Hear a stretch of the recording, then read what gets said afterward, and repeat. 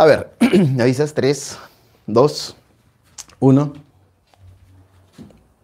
Hola gente, ¿qué tal? Bienvenidos una vez más a este eh, nuevo video, a este nuevo repaso en este canal y pues ahora vamos a hablar acerca de aparato respiratorio. Evidentemente se suma un nuevo aparato, un nuevo componente, un nuevo conjunto de órganos a toda esta misión prácticamente total de lo que viene a ser eh, el humano. Así que vamos a hablar de lo mínimo necesario que debes reconocer, saber, verificar, recordar en aparato respiratorio. Evidentemente, en los últimos años ha habido un gran incremento de eh, adictos justamente a factores neumopáticos. Entiéndase, por ejemplo, el más común que es el cigarrillo. ¿No? Evidentemente, pues esto a la larga va a originar ciertas complicaciones que podrían generar o invitar de repente a problemas que impliquen tu vida. El cigarrillo o simplemente los eh, vaping, ¿no? los vapores, cigarros eléctricos, eh, también van a originar lo mismo. Ahora, lo mismo pasa en la zona, eh, a ver cómo lo decimos, en la zona andina. En la zona donde de repente no hay mucha tecnología o no llega el gas por acueductos, por tubos, muchas veces la gente tiene que cocinar a leña con la cocina adentro. Entonces el humo es respirado por la familia por mucho tiempo donde pues evidentemente va a haber un momento donde el paciente exprese ya la enfermedad por el cúmulo o la inhalación permanente de este tipo de cosas. Entonces tú ves de repente a una persona propia de esos lugares, no vas a pensar pues que es eh, adicto al cigarro, ¿no? No vayas a pensar que es eh, adicto al cigarro, sino, sí, sino que pues ha cocinado a leña por mucho tiempo. Pasa, pasa. Así que eh, nosotros, los que vivimos más que nada en la zona urbana, etcétera, no nos salvamos. Pero, profe, si yo no cocino a leña, está bien, pero si estás expuesto a una serie de contaminación. Al menos en Lima, yo, yo sé que también en tu país, de donde me sigas, hay una gran, pero gran, eh, a ver cómo lo decimos, una gran implicancia en cuanto al tráfico, ¿no es cierto? Y todos esos carros em, emanan humo. ¿Y qué tal ese ambulante, ese vendedor, ese policía? Entonces, obviamente va a estar expuesto a ese tipo de cosas. En fin, tenemos mucho por hacer y evidentemente acá lo vamos a resolver. Darle las gracias a Antonio Cabrera y a David R. Acá están sus Instagram para que los puedas seguir y de repente eh, colaborar con su contenido. Bien. Acá tenemos entonces la pizarrita de aparato respiratorio, donde evidentemente vamos a tener lo mínimo necesario en cuanto a todo lo que acá tenemos. Mira bien, eh, la definición tenemos que es un conjunto de órganos que realizan el intercambio de oxígeno molecular y el dióxido de carbono. Y esto es bastante básico. Voy a resaltarlo en verde, ¿ya? A ver, escúchame. ¿eh? Dice, conjunto de órganos que realizan el intercambio. Esta es la palabra clave. Intercambio. Esta es la palabra clave. Profe, ¿por qué? Porque no es que le va a dar a tu cuerpo, sino que va a haber un intercambio. Algo va, algo va a entrar y algo tiene que salir. Entonces, obviamente, acá hay que tener las cualidades de qué entra y de qué sale. ¿Qué va a entrar? Obviamente, oxígeno. ¿A cambio de qué? De que salga dióxido de carbono, ¿no? Ahora, el dióxido de carbono obviamente tiene ciertas, eh, ¿cómo lo decimos? Tiene ciertos nombres, ¿no? La gente lo conoce simplemente como CO2. Y está bien, y estás en tu derecho. Pero el CO2, ya yendo más a la química, se puede pronunciar o nombrar de diferentes maneras. Tenemos a la nomenclatura stock, tenemos a la nomenclatura UPAC, tenemos a la nomenclatura tradicional o clásica, UPAC o sistemática, y a la stock. Entonces tenemos, no sé, se me ocurre, anhidrido carbónico, dióxido de carbono, o anhidrido de carbono, simplemente paréntesis 4.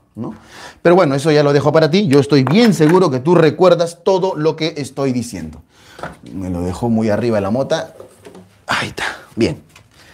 Entonces, ahí lo dejo. Por lo tanto, acá dice oxígeno, pero no dice oxígeno solo, porque si dice oxígeno, yo agarro y entiendo esto. Este es el oxígeno. Acá dice una palabra clave, molecular. Significa que el oxígeno molecular es O2, ¿sí o no? Ya está. Puede ser que algún alumno me diga, profe, eso yo ya sé, ya, métale nivel. Lo que pasa es que tengo que ir desde cero. Yo tengo que asumir que, el alumnito está conmigo desde la base. Así que tenemos que caminar antes, que, antes de correr. Bien, algo muy, muy, muy importante acá, y yo necesito que tomes nota, es que, porque tomas nota, ¿no? es necesario saber cómo se llama ese intercambio gaseoso. Ese intercambio gaseoso puede ocurrir en dos sitios. Claro, ocurren en dos sitios, pero hablamos allá. Ocurren en Te explico. Lo que pasa es que hay dos tipos de respiración, hijito. Dos tipos de respiración. ¿No lo sabías? Ahora te lo digo. La respiración puede ser, el intercambio de gases puede ser a nivel alveolar. Alveolar. Y también puede ser a nivel tisular. Tisular. Y ahora sí, tú que crees que sabes, necesito que me digas a qué me refiero con ellos dos. Tisular, ¿a qué me refiero con yo cuando digo el nivel tisular? Vamos, gente, ¿a qué nos referimos cuando decimos nivel tisular? Si los estoy leyendo, chicos, no, no, hay ningún problema. Yo los estoy leyendo. Me dicen tejidos. Vamos a darle su premio a quien lo merece. El primero que escribió fue Miki Patricia Guillén. Me dice, profe, tejidos. Claro que sí. Tisular. Cuando dice nivel tisular, tenemos a los tejidos. Entonces, eso es lo que ocurre. Ahora, una cosa es nivel tisular, ojo, una cosa es nivel tisular y otra cosa es nivel alveolar. Nivel alveolar quiere decir a nivel de los pulmones, adentro. Te explico, te explico. El oxígeno que tú vas a respirar entra a tu cuerpo, entra a los pulmones y dentro de los pulmones hay unas cositas llamadas alveolos, que son como uvas. Ahí entra el CO2 y el oxígeno se queda el, CO2 sale cuando exhalas y el oxígeno se reparte en todo tu cuerpo. ¿Entiendes? Entonces, como en el alveolo ha habido intercambio de gases, a eso se le llama respiración alveolar. ¿No ves qué está ocurriendo en el alveolo? Ya. Ese oxígeno que se ha quedado, agarra y se lo ponen al glóbulo rojo, a la hemoglobina. Y la hemoglobina se va, se me ocurre, al hígado, a los genitales, al pie, al, hueso, al vaso, al timo, no lo sé. Se va a cualquier tejido y deje el encargo. Señora, algo así. Rappi llegó, ahí está, un globo, le mandaron un globo y le ponen y le entregan su oxígeno, su encargo. Y la célula le dice, ah, gracias señor, ¿sabe qué? Por favor, llévese esto. Y le entregan el CO2. ¿Viste? Entonces, ha habido, una, ha habido otra respiración. Pero como ocurre a nivel de los tejidos, se llama respiración tisular. Perdón, claro, tisular, está bien. Entonces, eso es. Por lo tanto, tengo dos tipos de respiración. Respiración tisular, la que te acabo de decir, y respiración alveolar. ¿Viejitos? Ahora, mucho cuidado acá porque mira cómo le vamos dando nivel. ¿ah? A esta respiración alveolar, a esta respiración alveolar, se le llama también, a ver, ¿quién me dice? ¿Quién me dice? ¿Cómo se llama a esa respiración alveolar? Yo necesito compartir contigo, saber más o menos si me está siguiendo o si no me está siguiendo, porque si no me está siguiendo, ya para qué lo hacemos, ¿no es cierto? Entonces vamos a ver cómo, cómo va la gente, cómo se llama a ese intercambio, a ese nivel que nosotros tenemos ahí. Muy bien, lo máximo. Yo me olvido que estoy eh, interactuando con gente que va a medicina, ¿no? Profe se llama hematosis. Así es, gente, así es. Entonces, yo acá voy a poner en negrito hematosis, hematosis, y ya vas a saber de qué te estoy hablando. ¿Sabes por qué te digo esto? Rebote. ¿Sabes por qué te digo esto? Porque muchas veces cuando yo enseño a los alumnos en la academia Aduni, muchas veces cuando yo me acerco a los alumnos y les digo, alumnos, ¿saben qué? Que esto, que el otro, la respiración. Y a veces los alumnos vienen del colegio o de otra academia con una idea equivocada. Ellos creen esto, escúchame, te digo, te voy a decir su error de ellos para que tú no los cometas. Me dicen, profe, yo sé, respiración externa es cuando el aire entra a las fosas nasales, externa. Y respiración interna es cuando ocurre a nivel de los alveolos. Eso me dicen. Y no, pues no es así. No es así. La respiración externa, escúchame, la respiración externa es la que ocurre a nivel alveolar. Y la respiración interna es la que yo te dije que era la respiración tisular. ¿Sí? Mejor lo, mejor lo pongo, ya tú das miedo, mejor lo pongo. Tú das miedo, oye. A ver, hay dos tipos de respiración. Respiración alveolar y respiración tisular. A la respiración alveolar también se le llama respiración externa y a la respiración tisular también se le llama respiración interna. ¿Sí? ¿Estamos bien? Bacán. Ya, profe, ¿qué más? Puede ser que haya gente que me diga, pero, pues eso, eso, ya sé. Ya, está bien. Ahorita te hablo de la salbutamol, beclometasona, vas a ver. Componentes. Mírame, componentes. O sea, el aparato respiratorio tiene componentes. ¿Te acuerdas que hablamos acerca del aparato excretor y yo te había dicho que también tiene componentes? Incluso te dije que estos componentes, porque yo me acuerdo, eh, eran riñones y vías urinarias. Y en este caso es diferente. En este caso hay dos componentes. Una porción que va a conducir el aire y una porción que se va a encargar de hacer el intercambio gaseoso. ¿Me entiendes? Por ejemplo, tus fosas nasales se encargan de qué? De hacer el intercambio gaseoso o de conducir el aire. Obviamente, cualquier alumno me diría, profe, se encarga de conducir el aire, ¿no es cierto? Porque el destino final son los pulmones. Bacán. Y eso es lo que vamos a ver acá. Y eso es lo que vamos a ver acá. Observa. Fíjate tú. Porción conductora. Y como yo te conozco, conduce el aire. No creo que nadie se confunda acá, ¿no? Hay que ser bastante quedado. ¿eh? Fosas nasales, ya sabes qué son, o sea, nariz. Faringe, creo que sí sabes que es una faringe. Laringe, quizás haya confusión acá para el que está empezando. Tráquea, ahí está la tráquea, bien chévere. Bronquios y bronquiolos, ¿no? Rebote. Es típico de un niño, es típico de un niño, pero recontra típico de un niño, que lo nebulicen.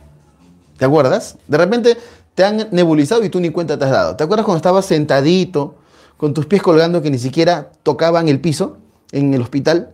Y estabas sentadito y al costado había un tanque de oxígeno que salió un tubito que iba hacia tu cara en una máscara y hacía... Y tú respirabas. Respirabas y te creías Goku. Ya, eso es nebulización y la nebulización tiene prácticamente por efecto, por misión, eh, hacer broncodilatación para que haya un buen pasaje aéreo, evidentemente, del oxígeno, para que haya una adecuada insuflación, por así decirlo, de los pulmones, para que haya un correcto intercambio a nivel alveolar. ¿Me entiendes?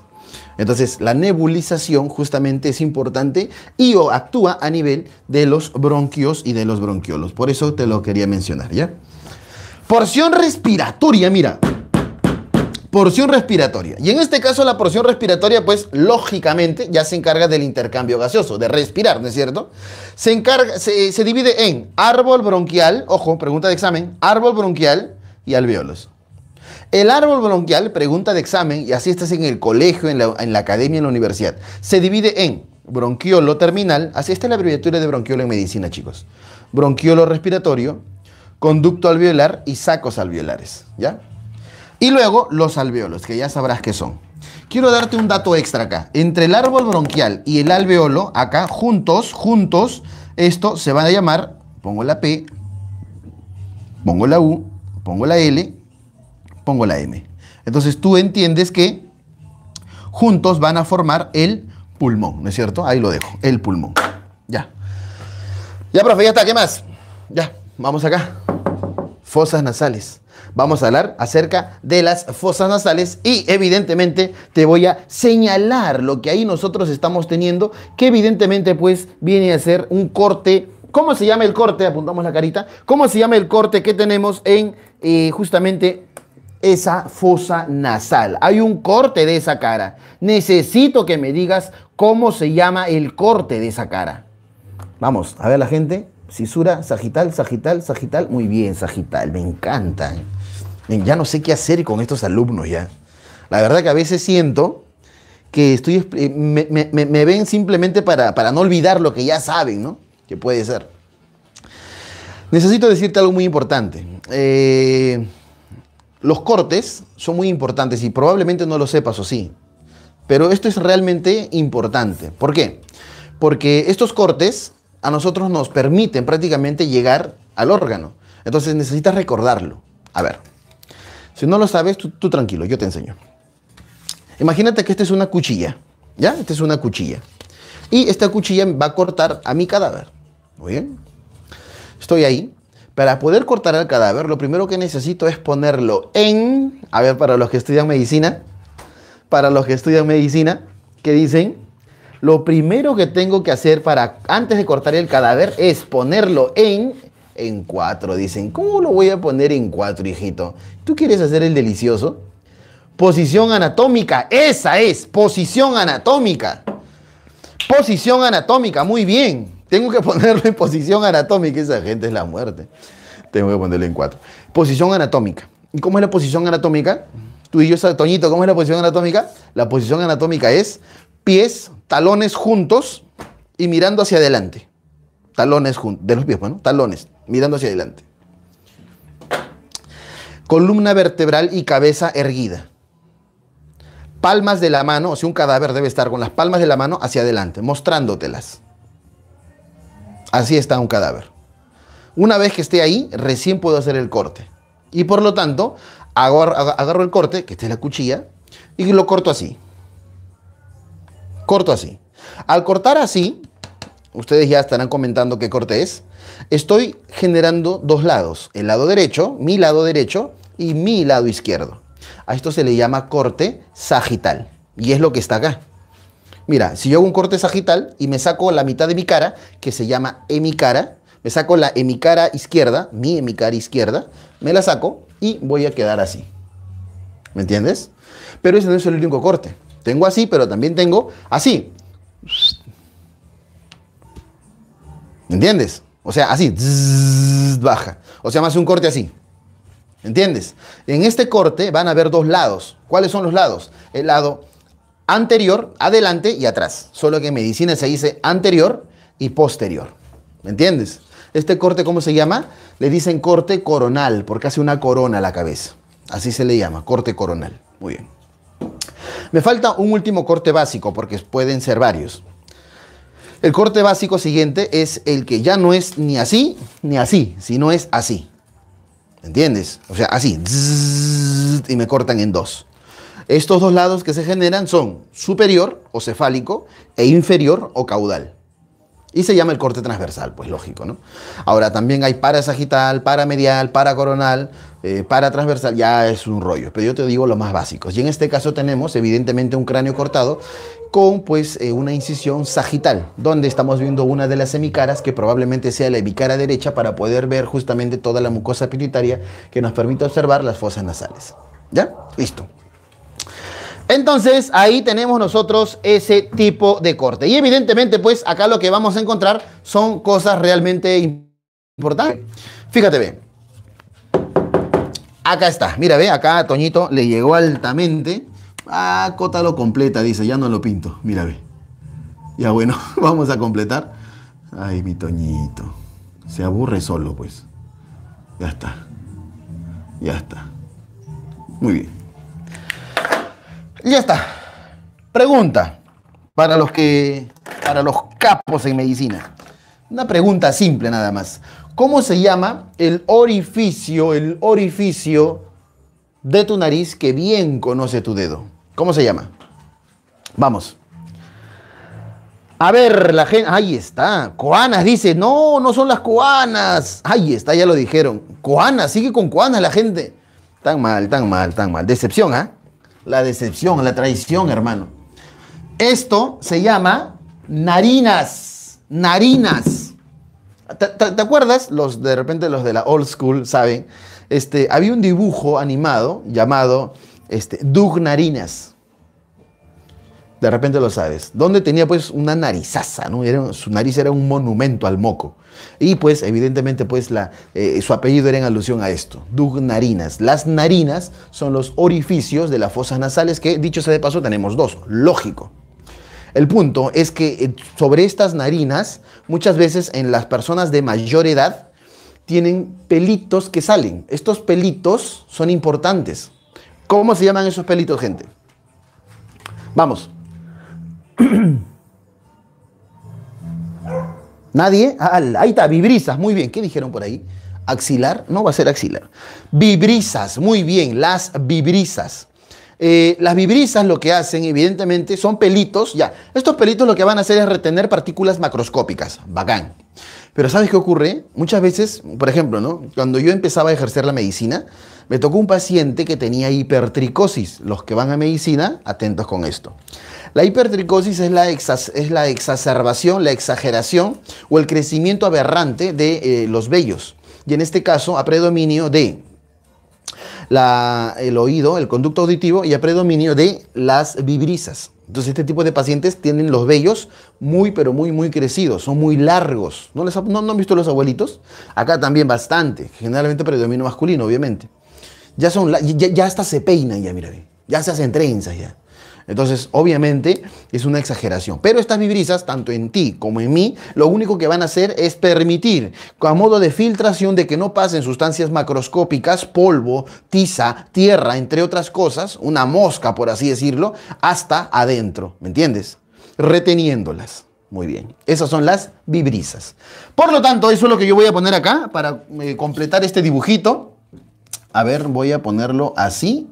Ya está esto que sea pues las narinas, ¿ya? Estas son las narinas. Narinas. Y yo voy a poner por acá como que hay pelitos, ¿ya? Voy a poner acá como que hay pelitos y voy a jalar, voy a jalar y señalar y voy a decir que estas son las vibrisas. Vibrisas. Ya está, le faltó poner esto a Toñito, ¿eh? Muy bien, vibrisas. Continúo. Ya, profe, ¿qué más? Chicos, ustedes que son amantes de la medicina, necesito que me digan, por favor, cómo se llama esto de aquí. Vamos, ¿cómo se llama eso que está ahí?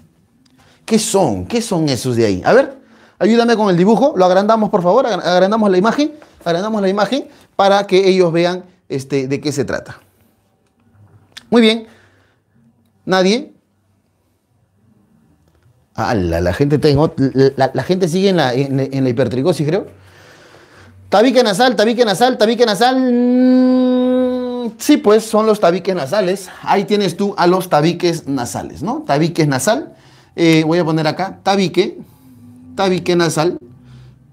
Así lo voy a poner. Tabique, tabique nasal. ¿Ya? Así lo voy a poner. Tabique nasal. Tú me entiendes, pues. Ya. Bueno, acá hay cosas que realmente no nos importan, ¿no? Acá tenemos los dientes, los labios, la lengua, el paladar, ¿sí? El paladar, el hueso palatino, algunos me entenderán.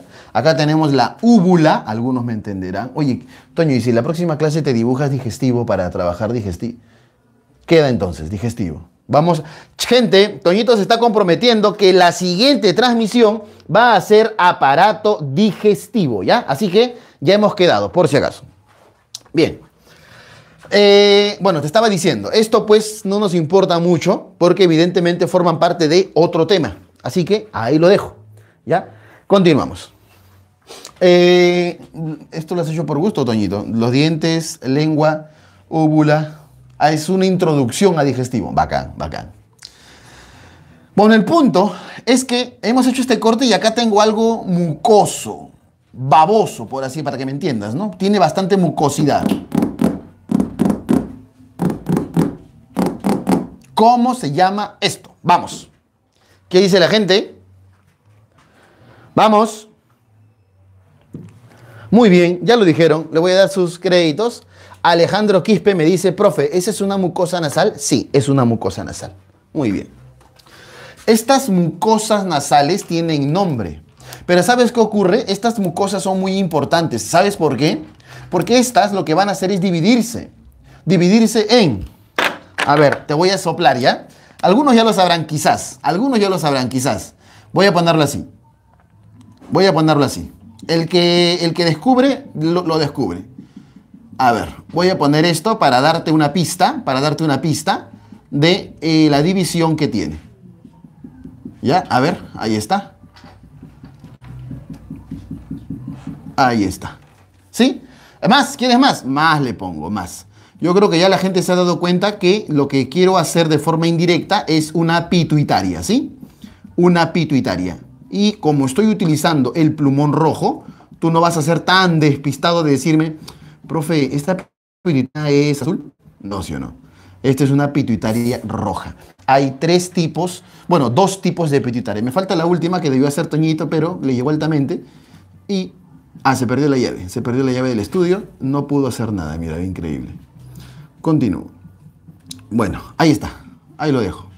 Ya está, mira, quedó chévere. Muy bien. Continúo. A ver, ponchame acá, por favor.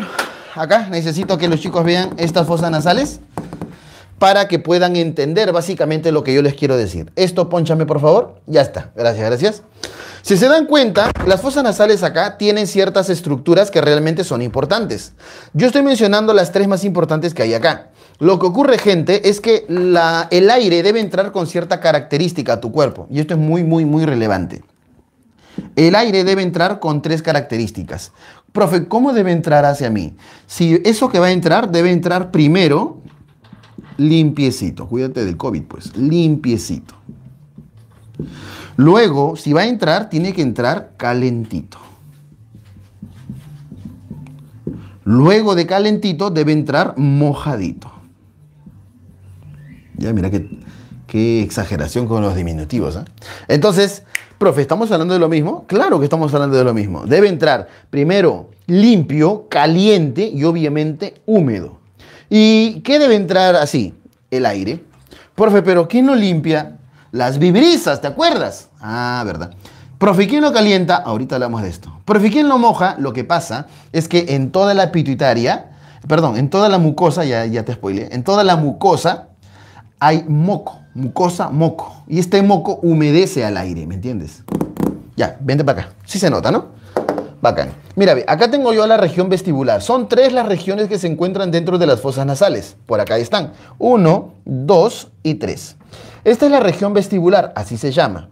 La región vestibular, la región respiratoria y la región olfatoria. La región vestibular poco me importa en este caso. Lo que ocurre acá, chicos, y según la universidad, siempre preguntan el tipo de epitelio. Mejor lo pongo en verde, porque tú das miedo. Epitelio. Profe, ¿qué es el epitelio? Es el tipo de piel que, el cual está formando a, esta, a este sistema. Allá. Ya, ¿y cómo es, profe? Ese se llama epitelio estratificado cilíndrico ciliado con células caliciformes.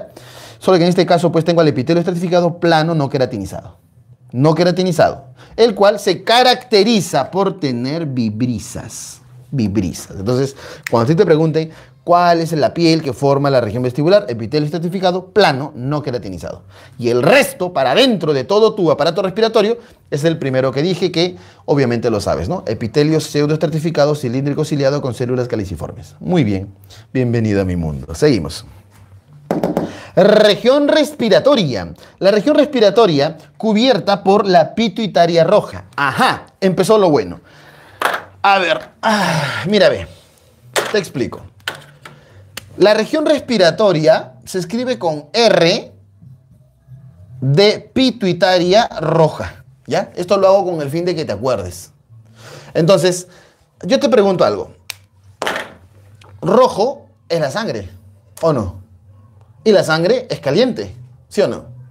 Entonces, la pituitaria roja es un conjunto de vasos sanguíneos, escúchame, la pituitaria roja es un conjunto de vasos sanguíneos con paredes delgadas, tan pero tan delgadas que su calor se lo van a dar al aire que pasa por ahí, haciendo que el aire se caliente, ¿me entiendes?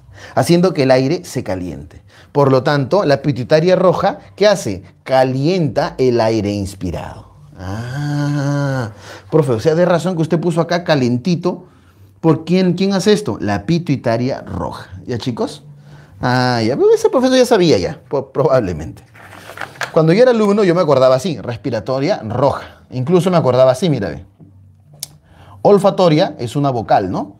Es una vocal. Y amarilla también es una vocal. Entonces, vocales con vocales, consonante con consonante. R con R y O con A. Entonces, ¿qué hace la región olfatoria? La región olfatoria, chicos, está cubierto por una mucosa llamada pituitaria amarilla.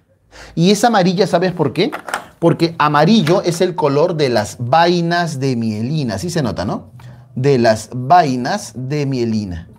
Ahora, todo ciclero que se respeta, cuaderno plateado, lapicero dorado, sabe que las vainas de mielina se encuentran formando parte, disculpen si me desvío del tema, pero se encuentran formando parte del axón de las neuronas.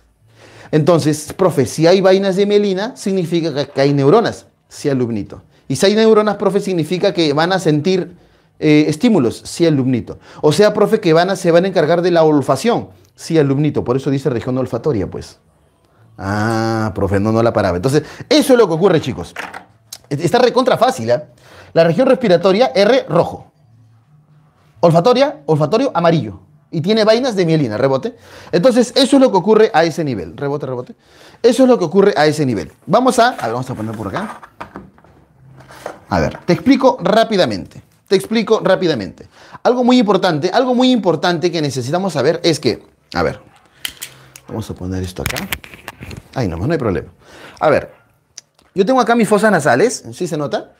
Tengo acá mis fosas nasales y en el caso de mis fosas nasales, fíjese usted que nosotros tenemos toda una pirámide, pero adentro, adentro, yo voy a tener gran cantidad de vasos sanguíneos. Estos vasos sanguíneos en ningún momento tienen que ser gruesos. Tienen que ser totalmente delgados para que el calor de los vasos se propague, se disperse, se contagie al aire frío que entra, ¿me entiendes? ¿Por qué? Porque tu cuerpo quiere que el aire entre caliente.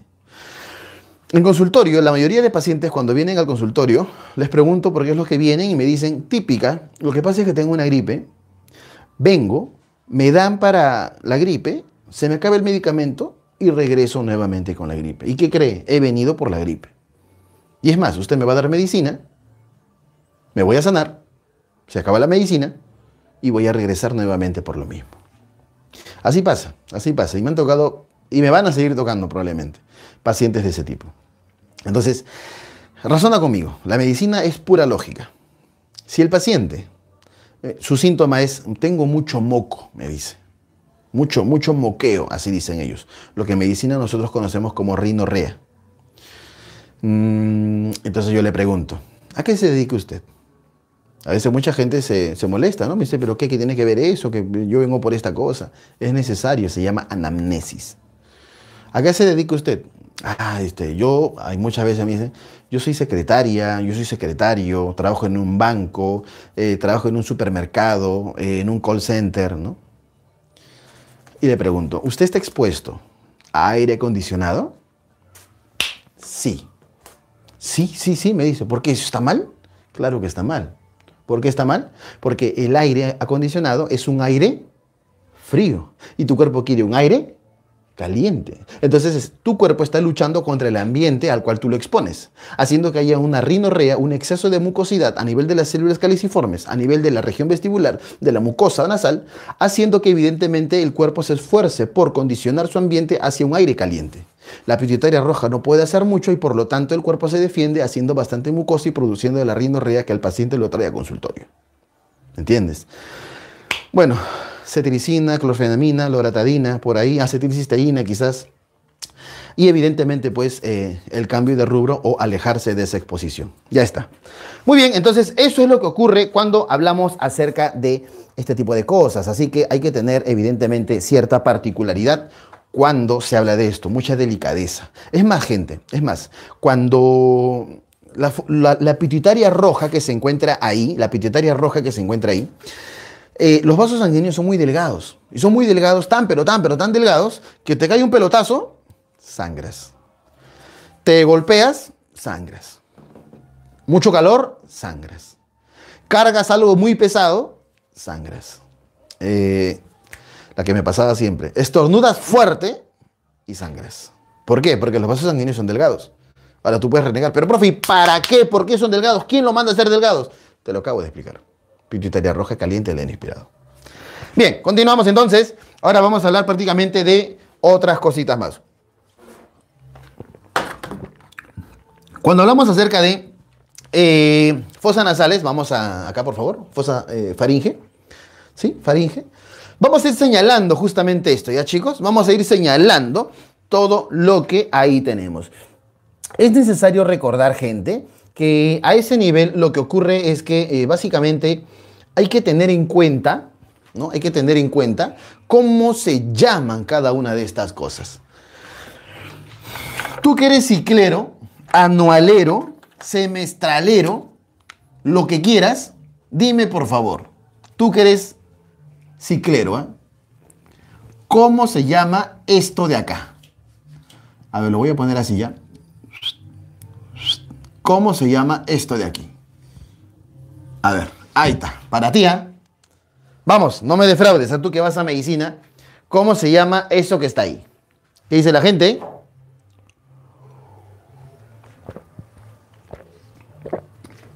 Está rica el spray.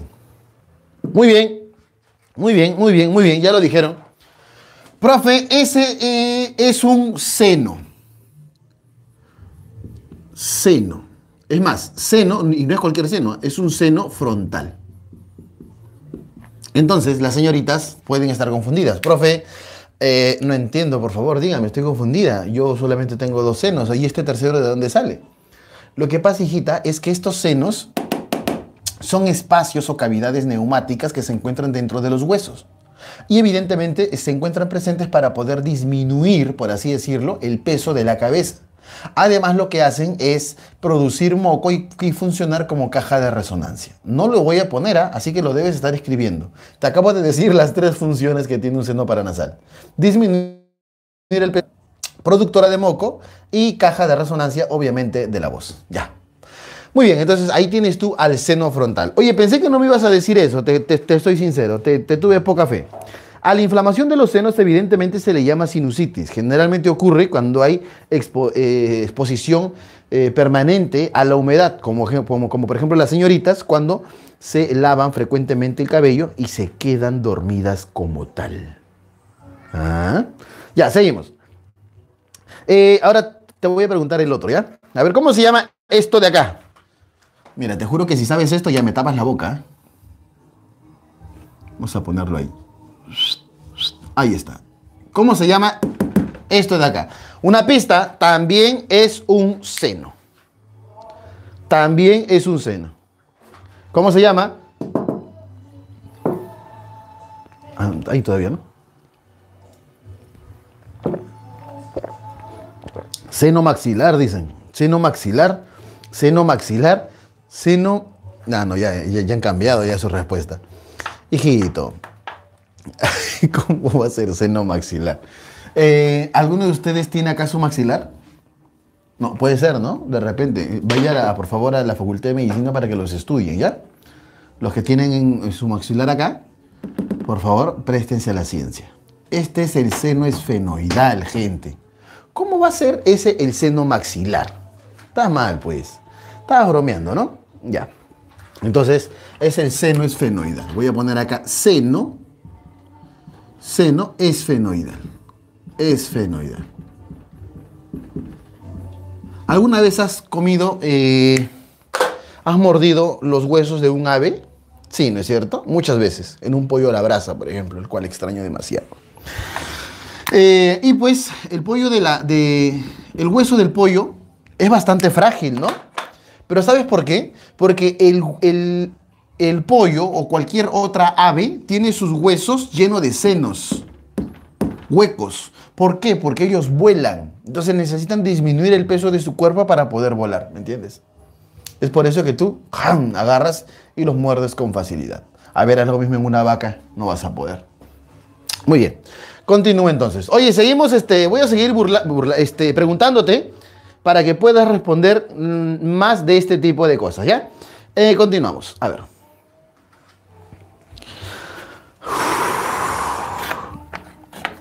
A ver, gente, ahora sí, se viene el oshido, mira.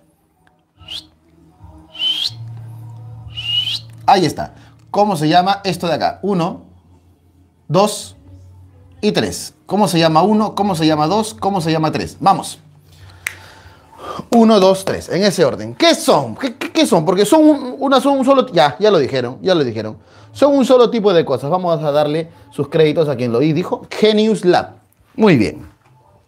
Profe, si mal no me equivoco, esos son los cornetes. Lo máximo. Todo lo que hace Google, ¿no? Cornetes. Cornetes. Ay, ay, ay, ay, ay. Puse otra cosa. Cornetes. Entonces, una desdichada puede decir, profe, o sea que hasta en la nariz tengo cuernos. Sí, hijita, cornetes. ¿Ya? Ahí está. Estos cornetes, por obvias razones, se llaman superior, medio e inferior. Lógico, ¿no? ¿Cuál es el superior? Obviamente la pregunta eh, tiene una respuesta muy obvia. Superior, medio y el inferior. Ahí lo dejo. Eh, si se dan cuenta, si se dan cuenta, cada uno de estos cornetes lo que van a hacer es permitir que el aire no pase tan rápido. ¿Por qué? A ver, ponchame acá, por favor. Pónchame acá, por favor. Muy bien. Eh, por ejemplo, si yo agarro la nariz, a ver, sí, sí, sí se me ve, ¿no? Si yo agarro mi nariz y a mi nariz yo la corto, agarro, me lo saco, ¿qué va a quedar? Va a quedar algo así. Observa.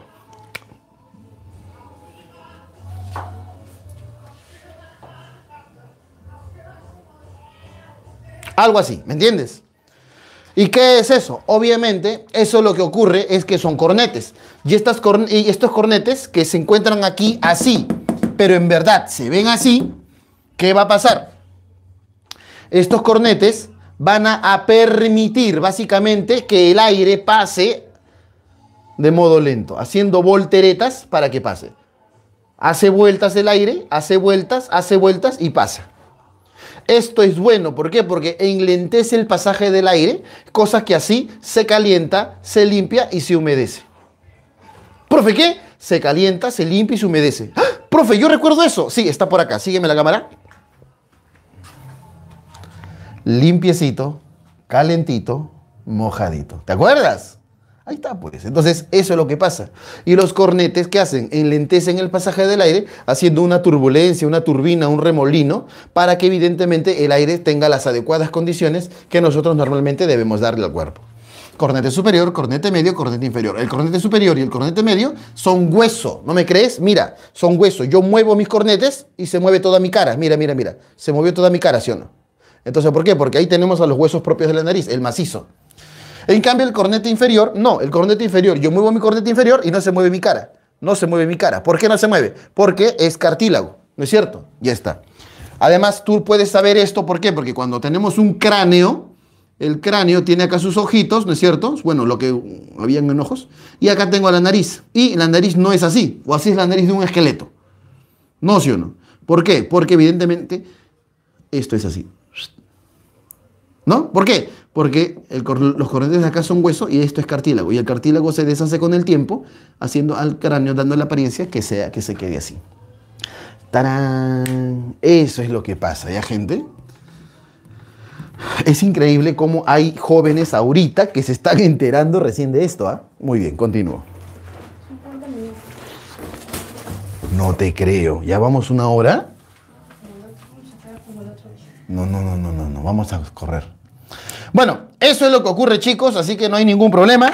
Solamente mencionarles ya para terminar este, este dibujito, el cual nos ha servido bastante, no sé, tengo exagerado, pero mencionarte que puedes descargar la foto de esta pizarra en nuestro Instagram. Estamos como arroba cotamanía, ¿ya? Arroba cotamanía. Nos buscas en el Instagram. Tenemos excretor, tenemos inmunología, tenemos, bueno, ahí revisas. Ya. Bueno, eso es lo que ocurre. Ya, profe, ¿qué más? Luego sigue, ¿sabes qué sigue? Mira, ponchame acá, por favor. Después de las fosas nasales, ¿qué seguía? La faringe, ¿sí o no? Ya. La faringe, gente, eh, es poco, no es tan manoseado a este nivel. ¿Por qué? Porque más lo vamos a ver en, sistema digestivo, que ya Toñito ha dicho que va a ser el próximo tema sistema digestivo. La laringe sí me importa que lo aprendas, pero vamos a darle sus minutitos a la faringe. Acá está la faringe. La faringe, chicos, para poder estudiarlo hemos hecho un corte. Eh, solamente mencionarte una pregunta bastante obvia, ya lo hice. ¿Cómo se llama el corte que le han hecho a ese humanito? Vamos. ¿Cómo se llama el corte? Pónchalo bien. ¿Cómo se llama el corte que le han hecho a ese humanito? Ese es el, sí, está bien. Ese es el corte, obviamente. chicos, nadie. Sagital, muy bien. Ese es el corte sagital. El corte sagital lo que hace, evidentemente, es generar dos lados. ¿Cuáles son los lados que genera ese corte? Vamos. Alto quijito, los lados. ¿Cuáles son los lados que genera ese corte?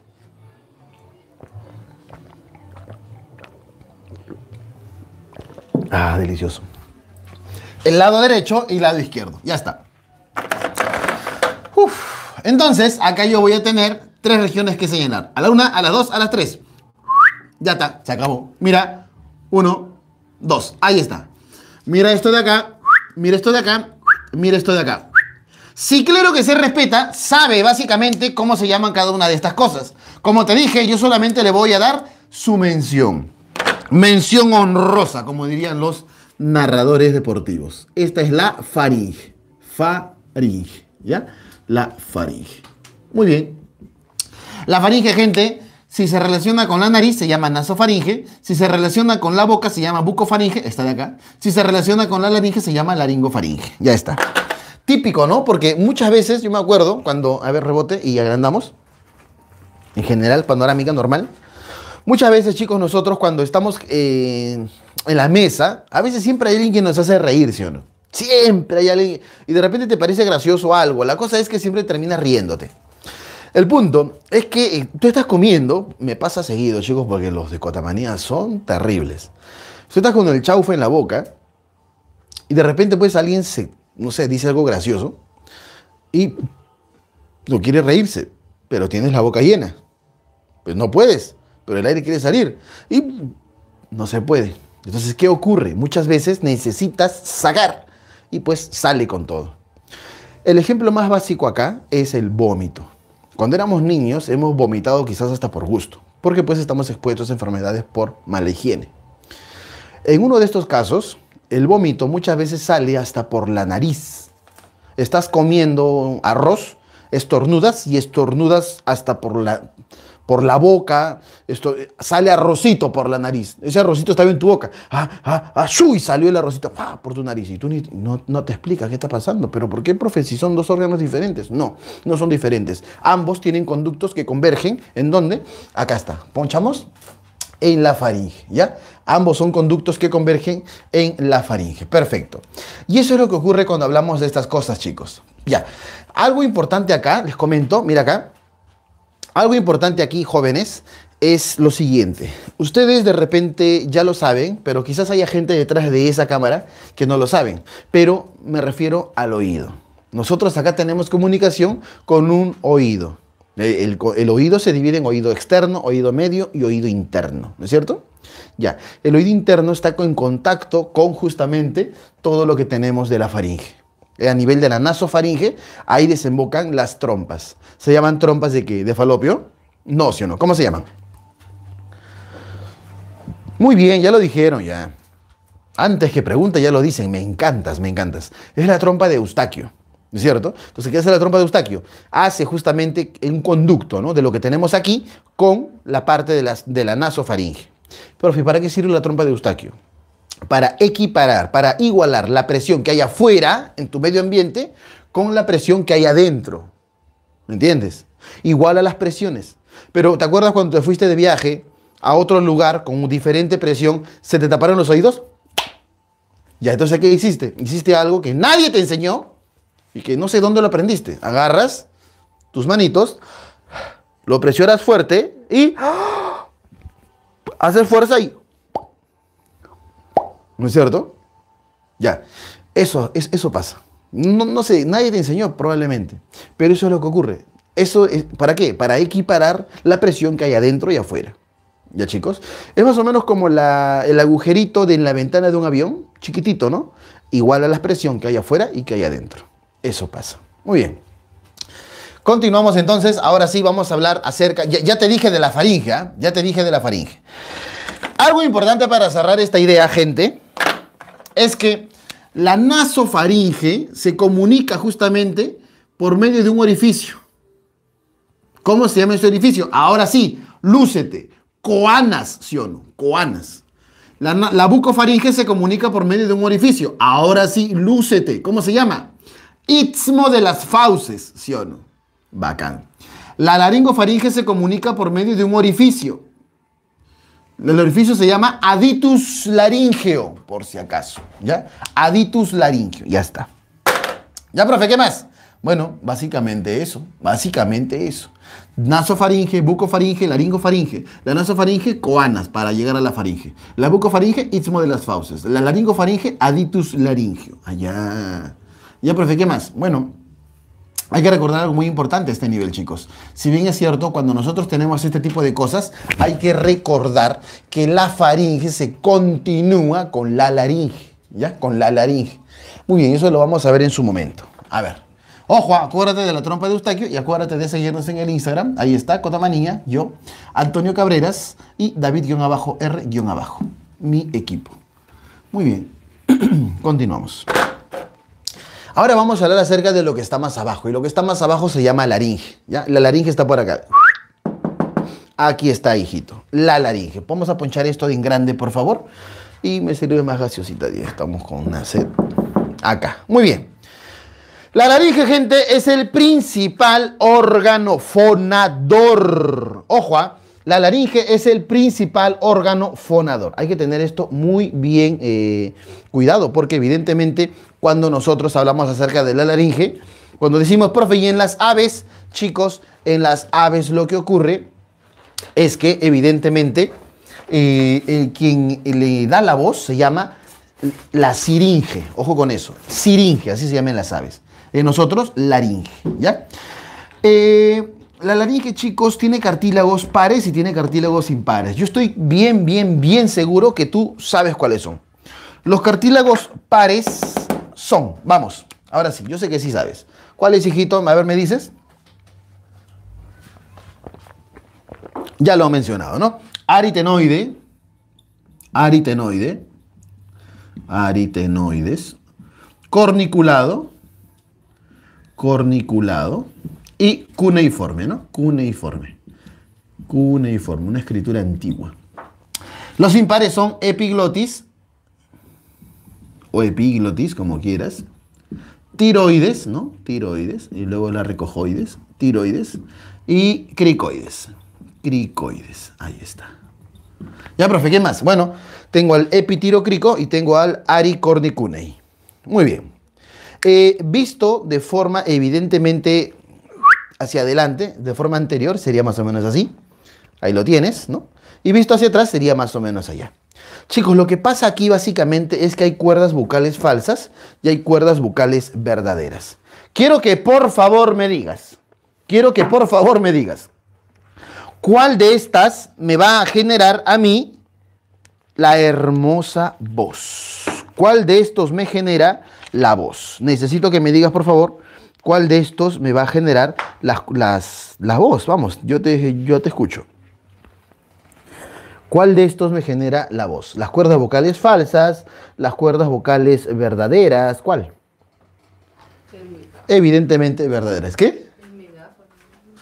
Entonces las cuerdas vocales verdaderas son las que finalmente me van a producir, ¿no? Producir la voz. La voz. Estas cuerdas falsas no no producen, no producen voz. ¿Ya? O si así lo quieres, al menos va a producir algo que nosotros conocemos como el conocidísimo falsete, ¿ya? El falsete o gallo, si así lo quieres, ¿no? Gallo, para la gente que no tiene talento cantando, si así lo quieres también. Ahí está, el gallo. Muy bien.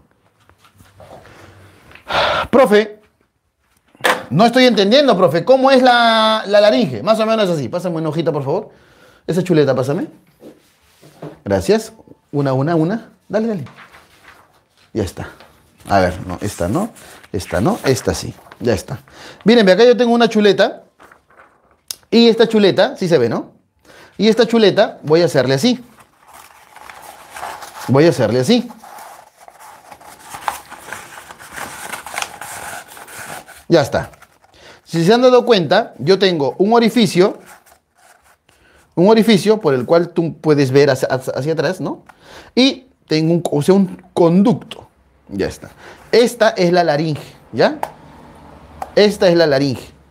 Y esto que está acá, el espacio que está en el medio, ¿sabes cómo se llama? Se llama glotis. Este espacio, el cual tú puedes ver a través de él, se llama glotis. ¿Ya? Y arribita de la glotis, que es lo que está adentro, arribita de la glotis hay una tapita. Hay una tapita. Esta tapita se llama epiglotis. La, tapita que está arriba de la glotis, lógicamente se llama epiglotis. ¿Me entiendes? Fácil, ¿no? Si de la laringe va a salir aire porque vas a estornudar, porque te vas a reír, porque vas a hablar, la tapita se abre. Si de la laringe no va a salir nada porque estás calladito o vas a tragar una pastilla, un trago de agua, la epiglotis cierra a la glotis, la protege porque por ahí solamente debe entrar aire, ¿me entiendes? Bacán. Chicos, sean honestos. ¿Alguna vez se han reído, matado de risa, se han carcajeado, se han vacilado justo cuando ibas a comerte una carnita, una carnecita? Creo que a todos, ¿no? Entonces, esa carnecita iba a pasar al esófago pero primero intenta por acá, por donde va, por donde va a entrar el aire. Entonces, agarra, va a entrar por acá, pero ¿qué hace el epiglotis? Dice, ¡Ah! ampa y me salvo, se cierra. Y la carne no va a poder entrar y rebota el esófago y se va. ¿no? Pero la carnecita iba, iba, va, viene, viene, viene la carnecita y tú a tu amigo, no sé, estornuda y se le sale, sale un moco, crece un globo, se cae, algo gracioso, y tú ¡ja! te ríes, ¡ja! te ríes, y la carnecita, eso va a pasar. Y tú, ese ¡ja! Vas a estar porque te estás asfixiando. ¿Me entiendes? Muy bien, gracias. Eso es lo que va a pasar, gente. Así que yo acá voy a señalar, esta es la epiglotis, ¿ya? Esta es la epiglotis. Esta es una vista anterior de lo que nosotros conocemos como eh, la laringe. Esa es la epiglotis. Este huesito que está acá, a ver, a ver, si clero que se respeta, cuaderno plateado, lapicero dorado, sabe cómo se llama ese huesito que ahí estoy nombrando. Por favor, no me hagas quedar mal. Por favor, no me hagas quedar mal. ¿Cómo se llama ese huesito que tenemos ahí?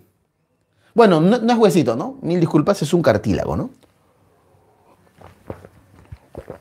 A ver, ¿cuál es? Ah, no, sí es un hueso, sí es un hueso. ¿Cómo se llama ese hueso? Ah, ya lo dijeron, mira aquí. Chicos, hoy día han venido finos, ¿ah? Yo creo que como saben el tema, se, se han preparado, ¿no? Bueno, esto lo voy a poner más bonito, epiglotis. Yo acá estoy, sigo recetando. Este es el hueso yoides. Muy bien, chicos. La verdad que me sorprenden porque cualquiera no sabe eso. Y es necesario que lo sepan. Ese es el hueso yoides. Realmente eh, es importante que lo sepan. El hueso yoides tiene una característica. ¿Alguien la sabe? Es el único hueso que no está articulado con los demás, ¿no? Hueso yoides. Ya, ahora sí, continúo. Eh, ahora vamos a hablar acerca de... Ahora vamos a hablar acerca de este hueso que está acá. Ah, a ver este. ¿Cómo se llama este huesito que está acá? Ahí está. Bueno, ya no es huesito, ahora sí es un cartílago, ¿no? Ahora sí es un cartílago. Ese y este de acá. A ver, gente, los quiero finos, por favor, no eh, eh, echen su racha, por favor. ¿Cómo se llaman esos huesitos? El de arriba y el de abajo. A ver, tiroides, muy bien, ahí tienes a la tiroides. ¿Y el de abajo cómo se llama? Cricoides. Lo más, chicos han venido finos, ¿ah? Muy bien, muy bien. Muy bien, yo creo que ustedes repasan, ¿ah?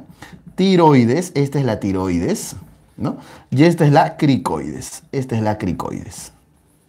La tiroides, más conocida como la manzana de quién? De Adán, crece justamente en grandes concentraciones de testosterona, obviamente en un varón, dándole el engrosamiento de la voz. Y la cricoides, pues, que se encuentra justo debajo de la tiroides, ¿ya? Estos de acá son cartílagos, por ese caso, cartílagos cricotiroideos, etcétera, etcétera, etcétera. Ya, ahí los tienes entonces a esas estructuras. Sí, veo a la gente comentando, todo está bien, chévere, lo máximo. Bien, entonces, ahora sí, continuamos. A ver, eh, bueno, necesito que me digas, por favor, cómo es que se llama, ahora sí, esta característica que se encuentra acá. Bueno, la epiglotis también está acá, por si acaso. Acá está la epiglotis, ¿no? epiglotis. Y luego tengo por acá a las cuerdas.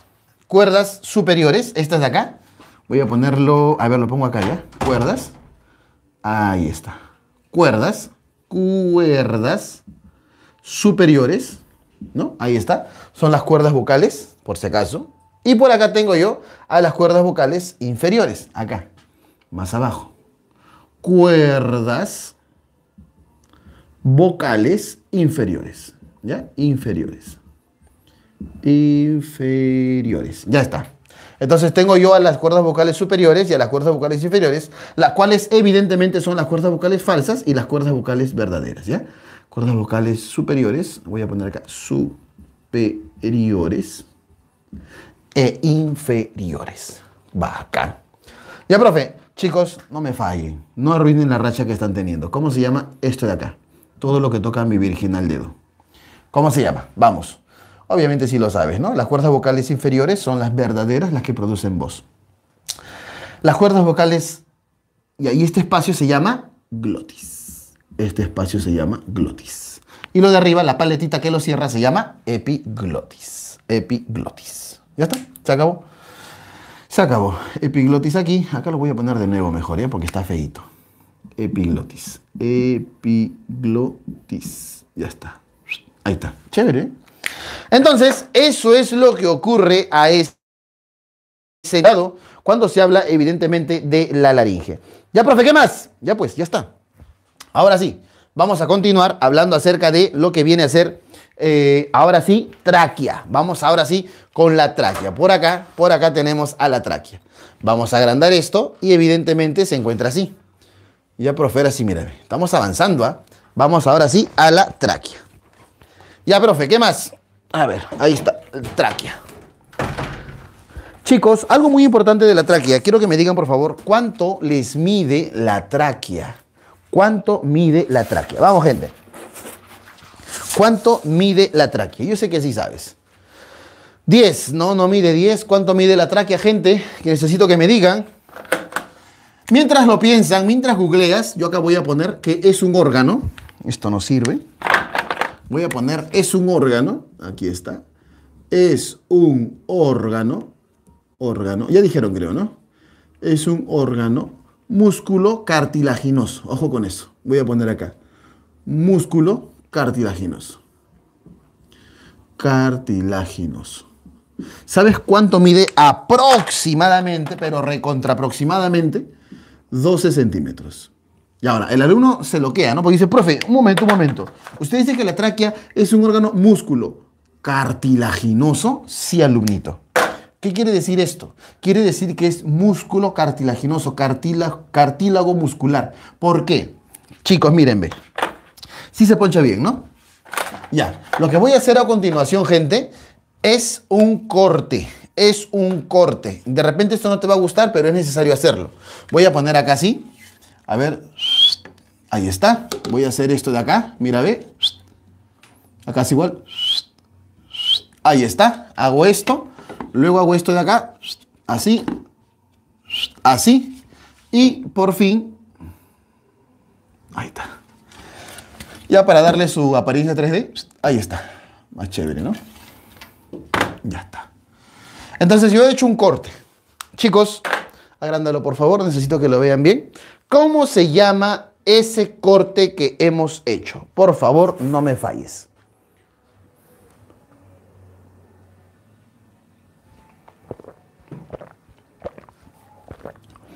Transversal. Ese es el transversal, lo máximo, me encantan. Ese es un corte transversal.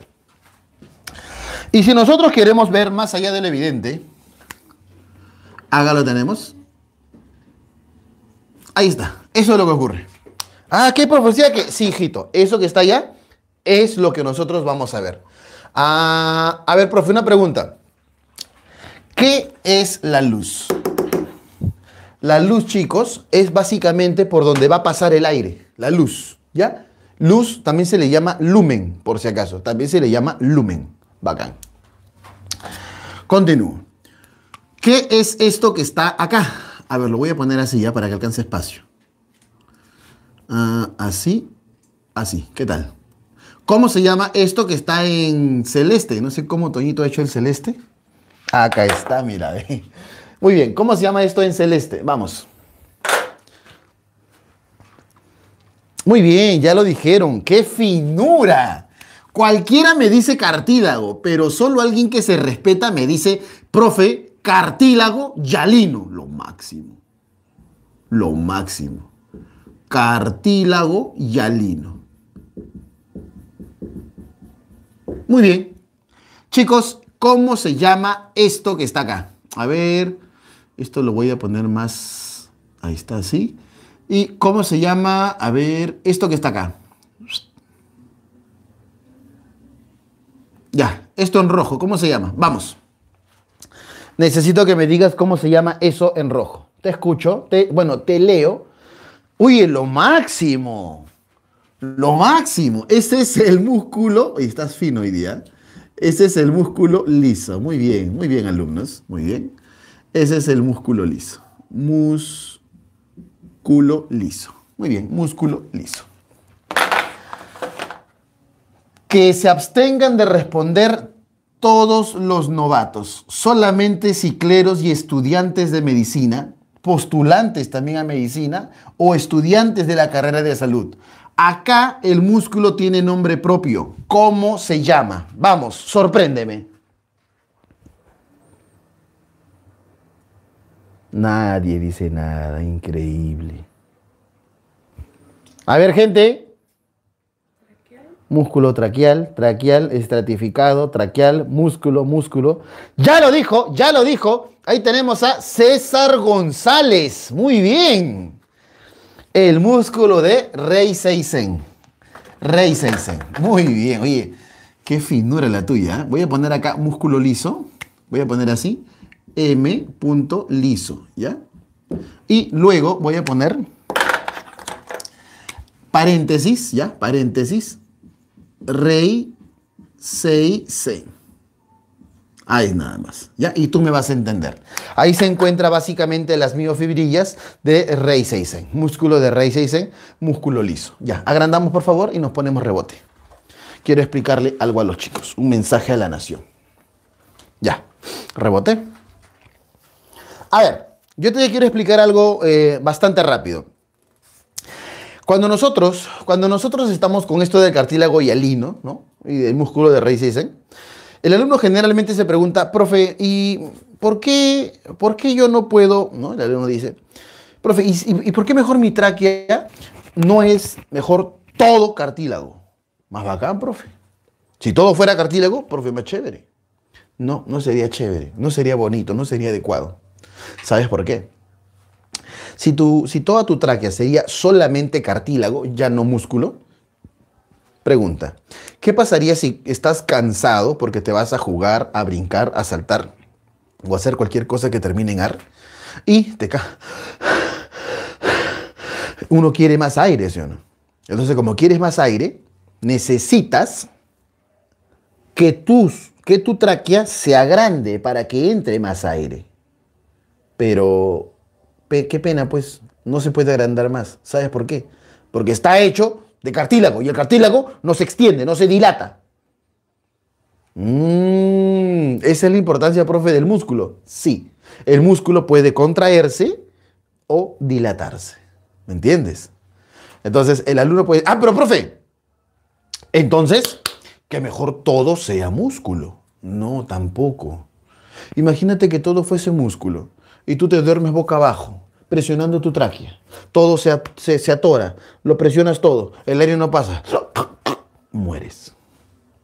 Entonces tampoco, ¿sí o no? Pucha, profe, y ahora, tranquilo, la evolución ha hecho un buen trabajo. Cartílago y músculo, músculo cartilaginoso, ¿me entiendes? Es importante, ¿eh? Muy bien. Eso es lo que ocurre y pues quería mencionarlo, entonces, evidentemente es necesario recordar todo lo que tenemos acá. Ya está. Vamos a seguir Gerardo Valencia nos está viendo, increíble. Es un alumno de hace casi 5 o 6 años, ¿ah? En San Miguel de Viso. A ver. Bien, entonces, ya está. Ya hablamos acerca de la tráquea y es importante recordar algo necesariamente adecuado. Mira, bien. Para empezar, gente, eh, si bien es cierto, cuando nosotros hablamos acerca de todo esto, hay que tener en cuenta, ¿no? Que cuando nosotros tenemos eh, este tipo de cosas, hay que recordar algo muy, muy, muy importante. Fíjate. Todo lo que tenemos acá acerca de la tráquea y esto, hay que recordar algo muy relevante en cuanto a lo que tenemos acá. Observa. Se va dividiendo.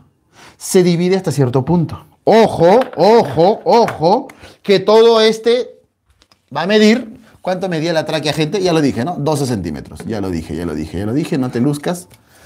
12 centímetros, profe. Muy bien. Pero hay un cartílago el cual genera una división. ¿Cómo se llama ese cartílago? Porque viene más o menos así, ¿eh? mira. A ver, el moradito que usó eh, Toñito. Acá está. Viene más o menos así, ¿eh? A ver, ah, así. Viene así. Ah, viene así. Así. Ahí está. Y ahí está. Entonces yo voy a poner esto así. Esto Ahí está.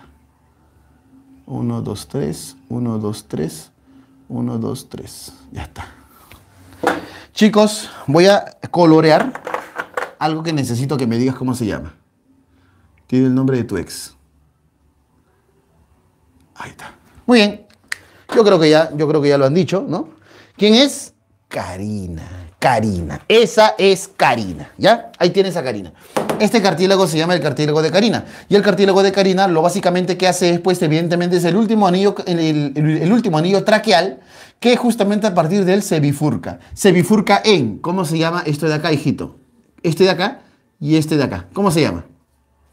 Este de acá se llama bronquio principal izquierdo. No me digas por qué es izquierdo si está en mi lado derecho. No me digas eso. ¿eh? Y este es el bronquio principal derecho. ¿Ya? Entonces tengo dos. Bronquio principal derecho y acá, que lo voy a poner más grande, bronquio principal izquierdo. Ya, profe, ya está. Chévere, gente. Pero ¿saben qué ocurre? Quiero que lo agrandes, por favor, un mensaje a la nación. Sí está agrandado, ¿no? Ya, rebotamos. Eh, te explico algo. Este bronquio, este bronquio, tenlo ahí un ratito, esto va a ser largo. Estos bronquios yo te voy a dar una mnemotecnia. Y esta mnemotecnia los seguidores, los netos, netos seguidores ya lo sabrán. Pero yo mis alumnos, bueno, cuando a mí me enseñaron, me hubiera gustado aprenderlo, pero ahora que estoy de docente, te lo digo. Es importante recordar esto. La tráquea va a llegar un momento donde se bifurca, ¿no es cierto? Y estos de acá se vuelven a bifurcar, se subdividen. Observa. Este, por ejemplo, se va a dividir en dos. Se va a dividir en dos. Obviamente el dibujo no es así, pero es una forma didáctica. Y este se va a dividir en tres. ¿Ya? Se va a dividir en tres. Repito, el dibujo en verdad no es así, pero esta es una forma didáctica, sobre todo para los rajones. Entonces, si te has dado cuenta, esto se ha dividido en uno, dos y tres, y este se ha dividido en dos. Para los que se dedican a la medicina, sabrán pues que estos luego se dividen en ocho. Luego se dividen en ocho. Voy a poner esto. Uno, dos, 3, 4, 5, 6, 7, 8. Voy a ponerlo así, representando, ¿ya? Muy bien. Y luego estos de acá se vuelven a dividir en, pero en 10, todos, ¿ah? Voy a poner acá 1, 2, 3, 1, 2, 3, 4, y acá voy a poner 3. 1, 2, 3. Ya está. A esto lo voy a poner más acá porque acá hay espacio. Ya.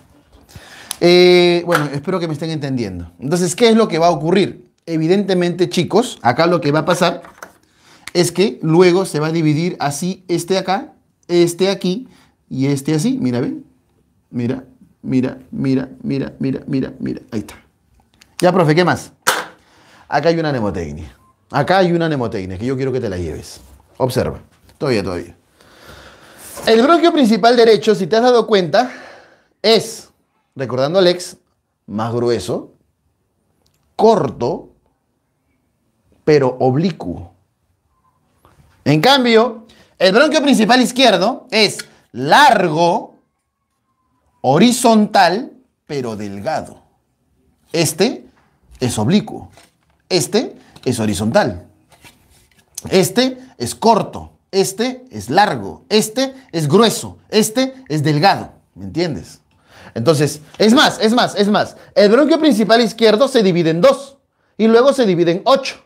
El bronquio principal derecho se divide en tres y luego se divide en diez. ¿Me entiendes? Entonces, acá hay una mnemotecnia para que lo recuerdes. Este se divide en 10 finalmente y este se divide en 8 finalmente. Entonces, ¿cuál es la mnemotecnia? Yo siempre le digo a mis alumnos de medicina, rebotamos ahora sí.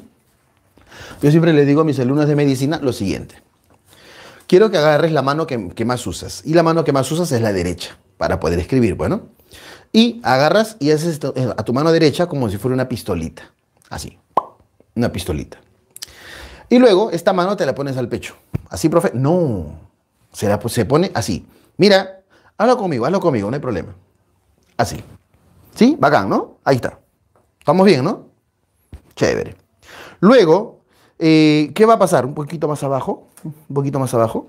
Luego, ¿qué va a pasar? Ahí está bien. Luego, ¿qué va a pasar? Si te has dado cuenta, acá hemos recreado a los bronquios principales. Este es el bronquio principal izquierdo, el cual está aquí.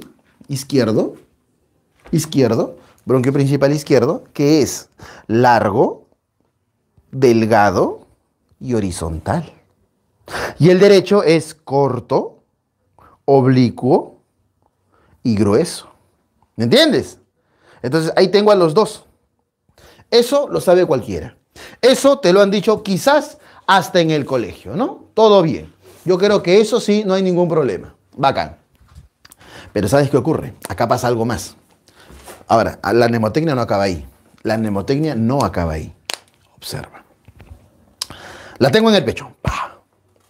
Ahora, acuérdate que el izquierdo, mira, el izquierdo se divide en dos.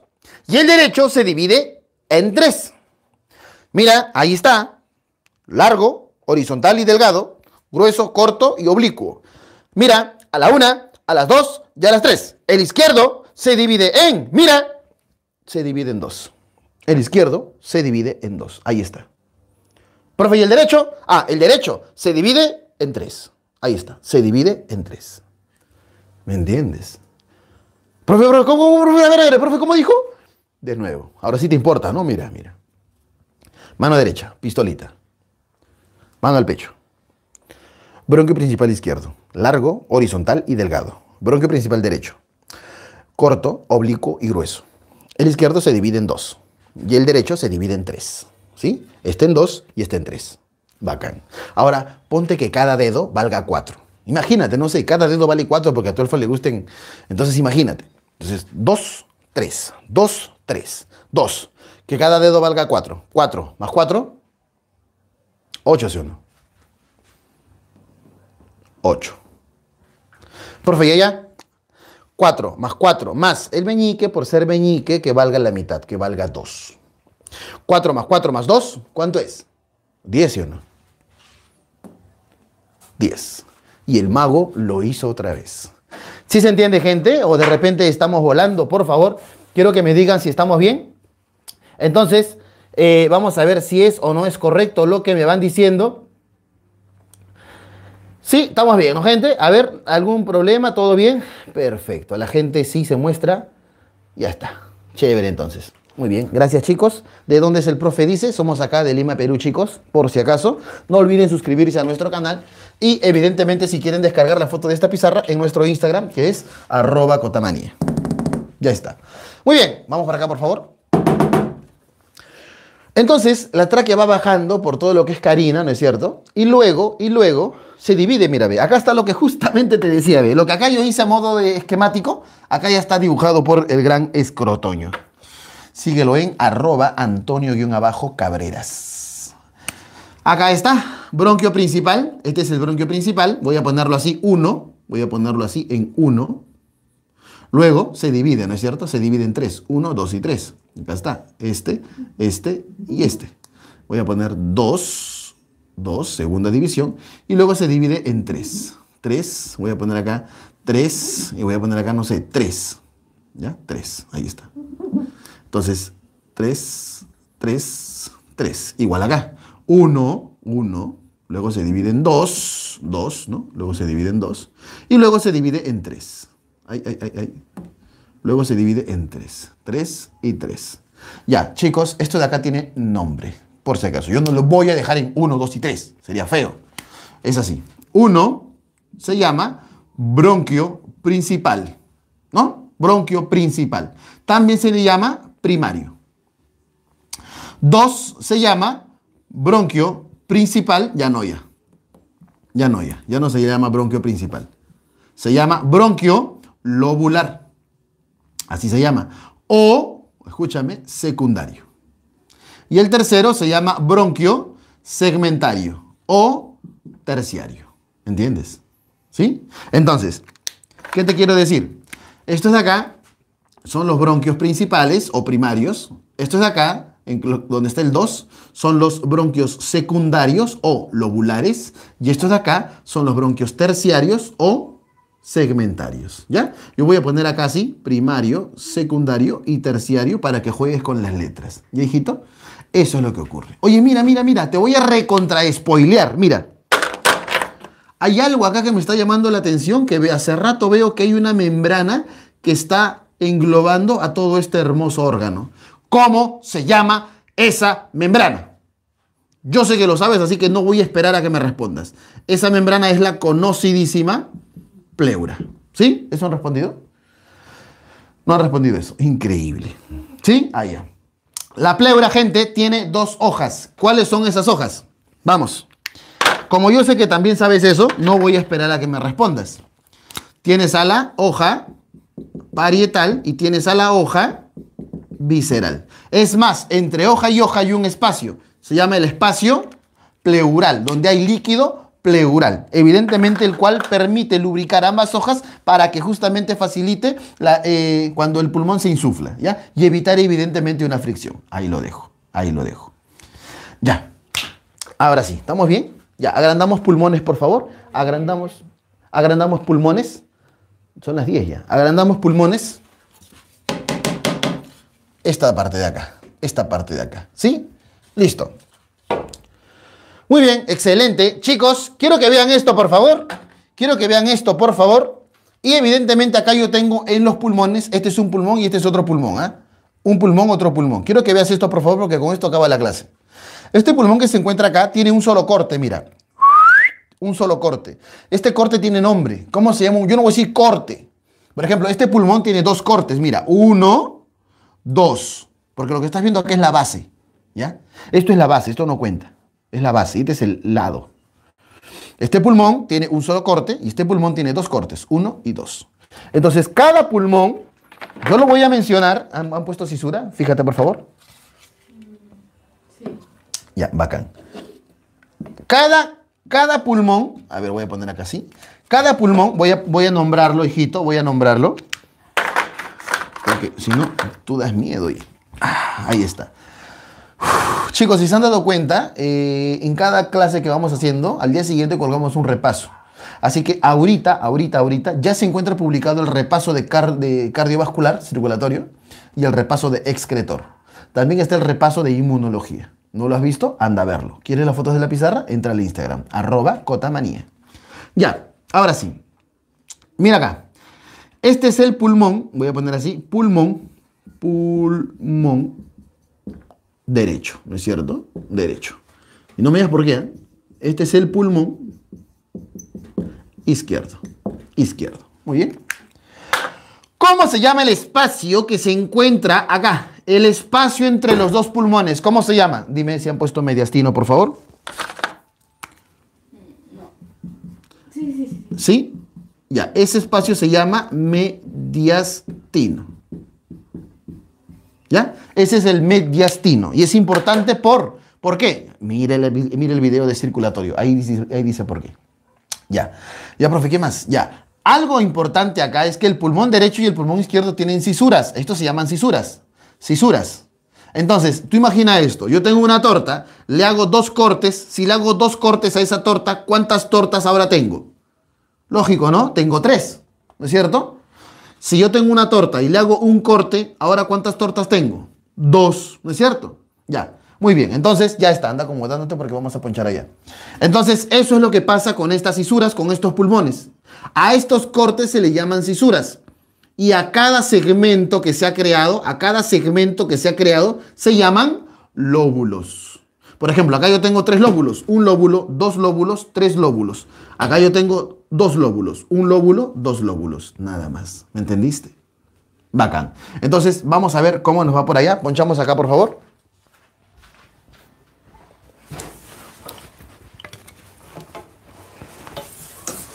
Muy bien, ¿sí? ¿Movemos la cámara? Excelente. Estamos moviendo la cámara, chicos, justamente para ustedes. Sí, se pudo, ¿no? Ya está. Entonces, ahí nosotros tenemos evidentemente cada uno de eh, esos lóbulos. Y nosotros tenemos que recordar prácticamente cómo es que se conecta eh, cada uno de estos cuando nosotros hablamos de estas cisuras. Fíjese usted, por favor, que en el caso del pulmón derecho eh, y el pulmón izquierdo tenemos una comparativa que vamos a colocar acá. Sí se ve esta parte, ¿no? Entonces, tengo pulmón derecho, peso, pulmón izquierdo, peso, cisuras, lóbulos, segmentos y tamaños. Necesito que me ayudes justamente con cada uno de esos para poder recordar qué es lo que pasa en ellos. A ver, lo llenamos juntos. Muy bien. Como esto sí no lo vas a encontrar así nomás googleando, así que yo voy haciendo prácticamente todo, ¿ya? El peso del derecho es aproximadamente de 600, 600 gramos, el peso del derecho, y el peso del izquierdo es aproximadamente de 500 gramos. Las cisuras, tú sabes que el derecho tiene dos cisuras, ¿no? Dos cisuras. Y el izquierdo, evidentemente, solamente tiene una, ¿no es cierto? Una cisura. Los lóbulos, lógicamente, el derecho, al tener dos cortes, tiene tres lóbulos. Tres lóbulos. ¿Cuáles son? Superior, medio y el inferior. Y el izquierdo, lóbulos, solamente tiene dos. ¿Cuáles son? Lógicamente, el superior y el inferior. Ya está. Segmentos. ¿Cuántos segmentos tiene este? Tiene 10.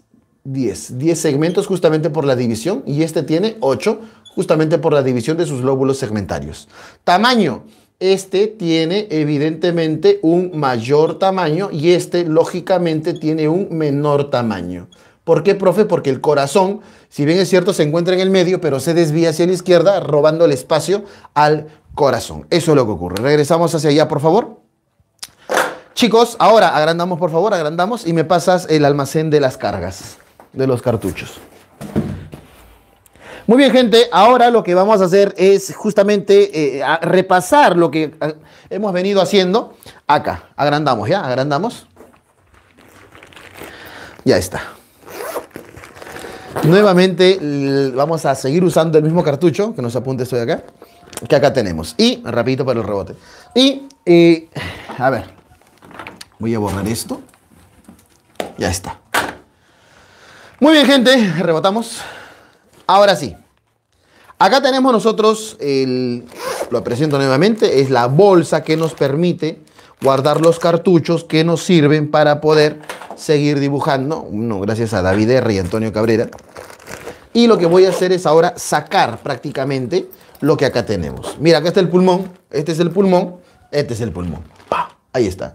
Ahí hay otro pulmón, ahí está el pulmón. Muy bien. Ahora lo vamos a ver en 3D, solo en Cotamanía, mira. A la una, a las dos, ahí está. Ahí tienes el pulmón. Ahí está el pulmón.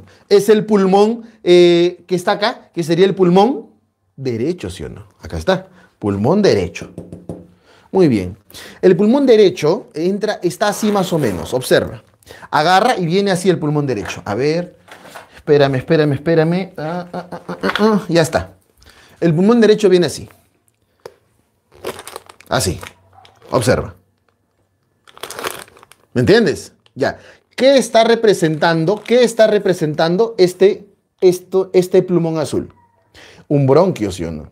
¿Qué bronquio? El bronquio principal derecho. ¿Cómo es el bronquio principal derecho? ¡Ah! No, no sé, profe. Acuérdate, pues. ¿Cómo era? Ah, ya, corto, grueso y oblicuo. ahí está. Entonces el otro sería así más o menos. ¿Cómo es el otro? largo, delgado y horizontal. ¿No es cierto? ¿Ya ves cómo funciona la mano derecha? Ya, pero si te has dado cuenta que hay un orificio. Este orificio nos permite entrar y salir estructuras. Entonces, por ese mismo orificio nosotros vamos a permitir que entren cosas y por ese mismo orificio vamos a permitir que salgan cosas. Entonces, ese orificio tiene nombre. Se escribe con H de hueco, con H de hilio. Y por ahí entran y salen cosas, que se escribe con P de paquete, con P de pedículo. Profesor, ¿lo dijo en riñones? Sí, pero ya no es pedículo renal, ya no es ilio renal. Ahora es ilio pulmonar y pedículo pulmonar. Acá tengo una imagen que nos va a crear eso. Por favor, acá señalamos. agrandamos ahí para que los chicos lo vean. Para que los chicos lo vean. Quiero saber si los chicos están conectados o no. Muy bien, la gente es lo máximo. Está bien, ahí están conectados. Chicos, les juro que si no se conectan, cancelamos la transmisión y ahí queda todo. ¿ah? Ya, ahí estamos. Ahora sí, a esto le vamos a poner nombre. Si se han dado cuenta, yo aquí he dibujado un pulmón, pero de Costa Rica, mira, de costadito nomás. ¿Ya? Y evidentemente acá nosotros tenemos estructuras que nos van a permitir a nosotros llegar justamente a ese nivel. ¿Se puede? Ya. Entonces, vamos a ver qué pasa ahí. Antes, quiero seguir jugando contigo y voy a poner esto así. Ahí está. ¿Cómo se llama eso que está en naranja? Vamos. ¿Cómo se llama eso que está en naranja? Obviamente se va a llamar pleura. ¿Qué es la pleura? Es una, es una membrana con dos hojas que va a revestir al pulmón. Bacán. Esa es la pleura. Sigo. Esta cara que se encuentra acá, esta cara que se encuentra acá del pulmón, ¿cómo se llama? Bueno, esa cara del pulmón se llama cara cara costal. Cara costal. Es la cara, por si acaso, para el que no me entiende, es la cara que se le da, obviamente, a las costillas. ¿Ya? Ya que la otra cara sería cara, evidentemente, medial. ¿no? Luego tenemos por fin a este orificio. Mira, mira, mira, mira, mira, mira, mira. Ese orificio, ¿ya? Que se llama ilio. Ilio, y voy a poner acá pul, y ya tú me entiendes, pues, ¿no? Que obviamente es el ilio pulmonar, ¿sí o no? Ese es el ilio pulmonar. Bacán. Ahora voy a continuar. Si te has dado cuenta, acá nosotros tenemos todo esto de esta cara. Nuevamente, acá tengo yo una cara. Mira, mira, mira, mira, mira, mira. ¿Cómo se llama esa cara del pulmón? Porque acá tiene el pulmón otra cara. ¿Sabes cómo se llama esa cara, hijito? Mejor lo pongo, ya tú das miedo.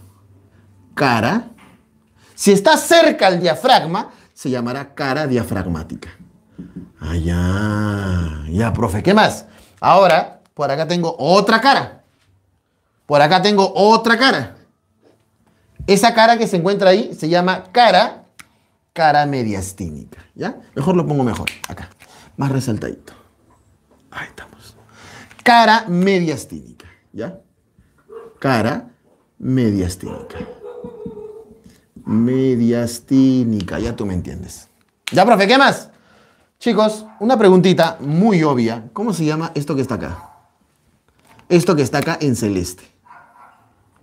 Ah, profe, ese es el diafragma, pues. ¿Y qué es el diafragma? Es un músculo respiratorio que nos va a permitir justamente la inspiración y expiración. Ahí lo dejo. ¿Qué más? Oye, profe, ¿cómo se llama todo este paquete, ah?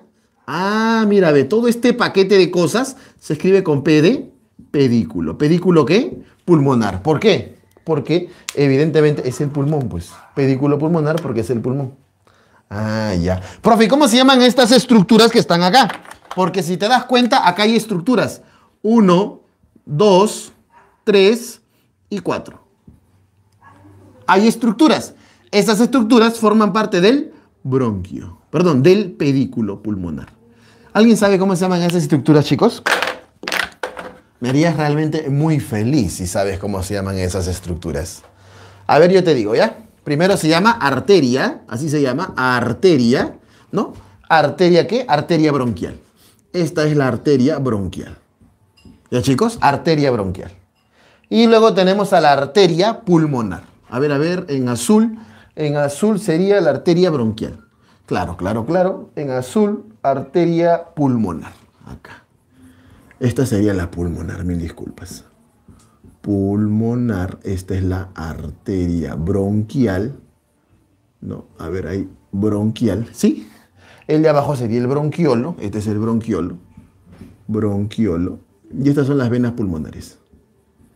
Venas pulmonares. Ahora, el alumno dirá, profe, una, una pregunta acá, realmente yo ya volé. profe, estas venas pulmonares no entiendo.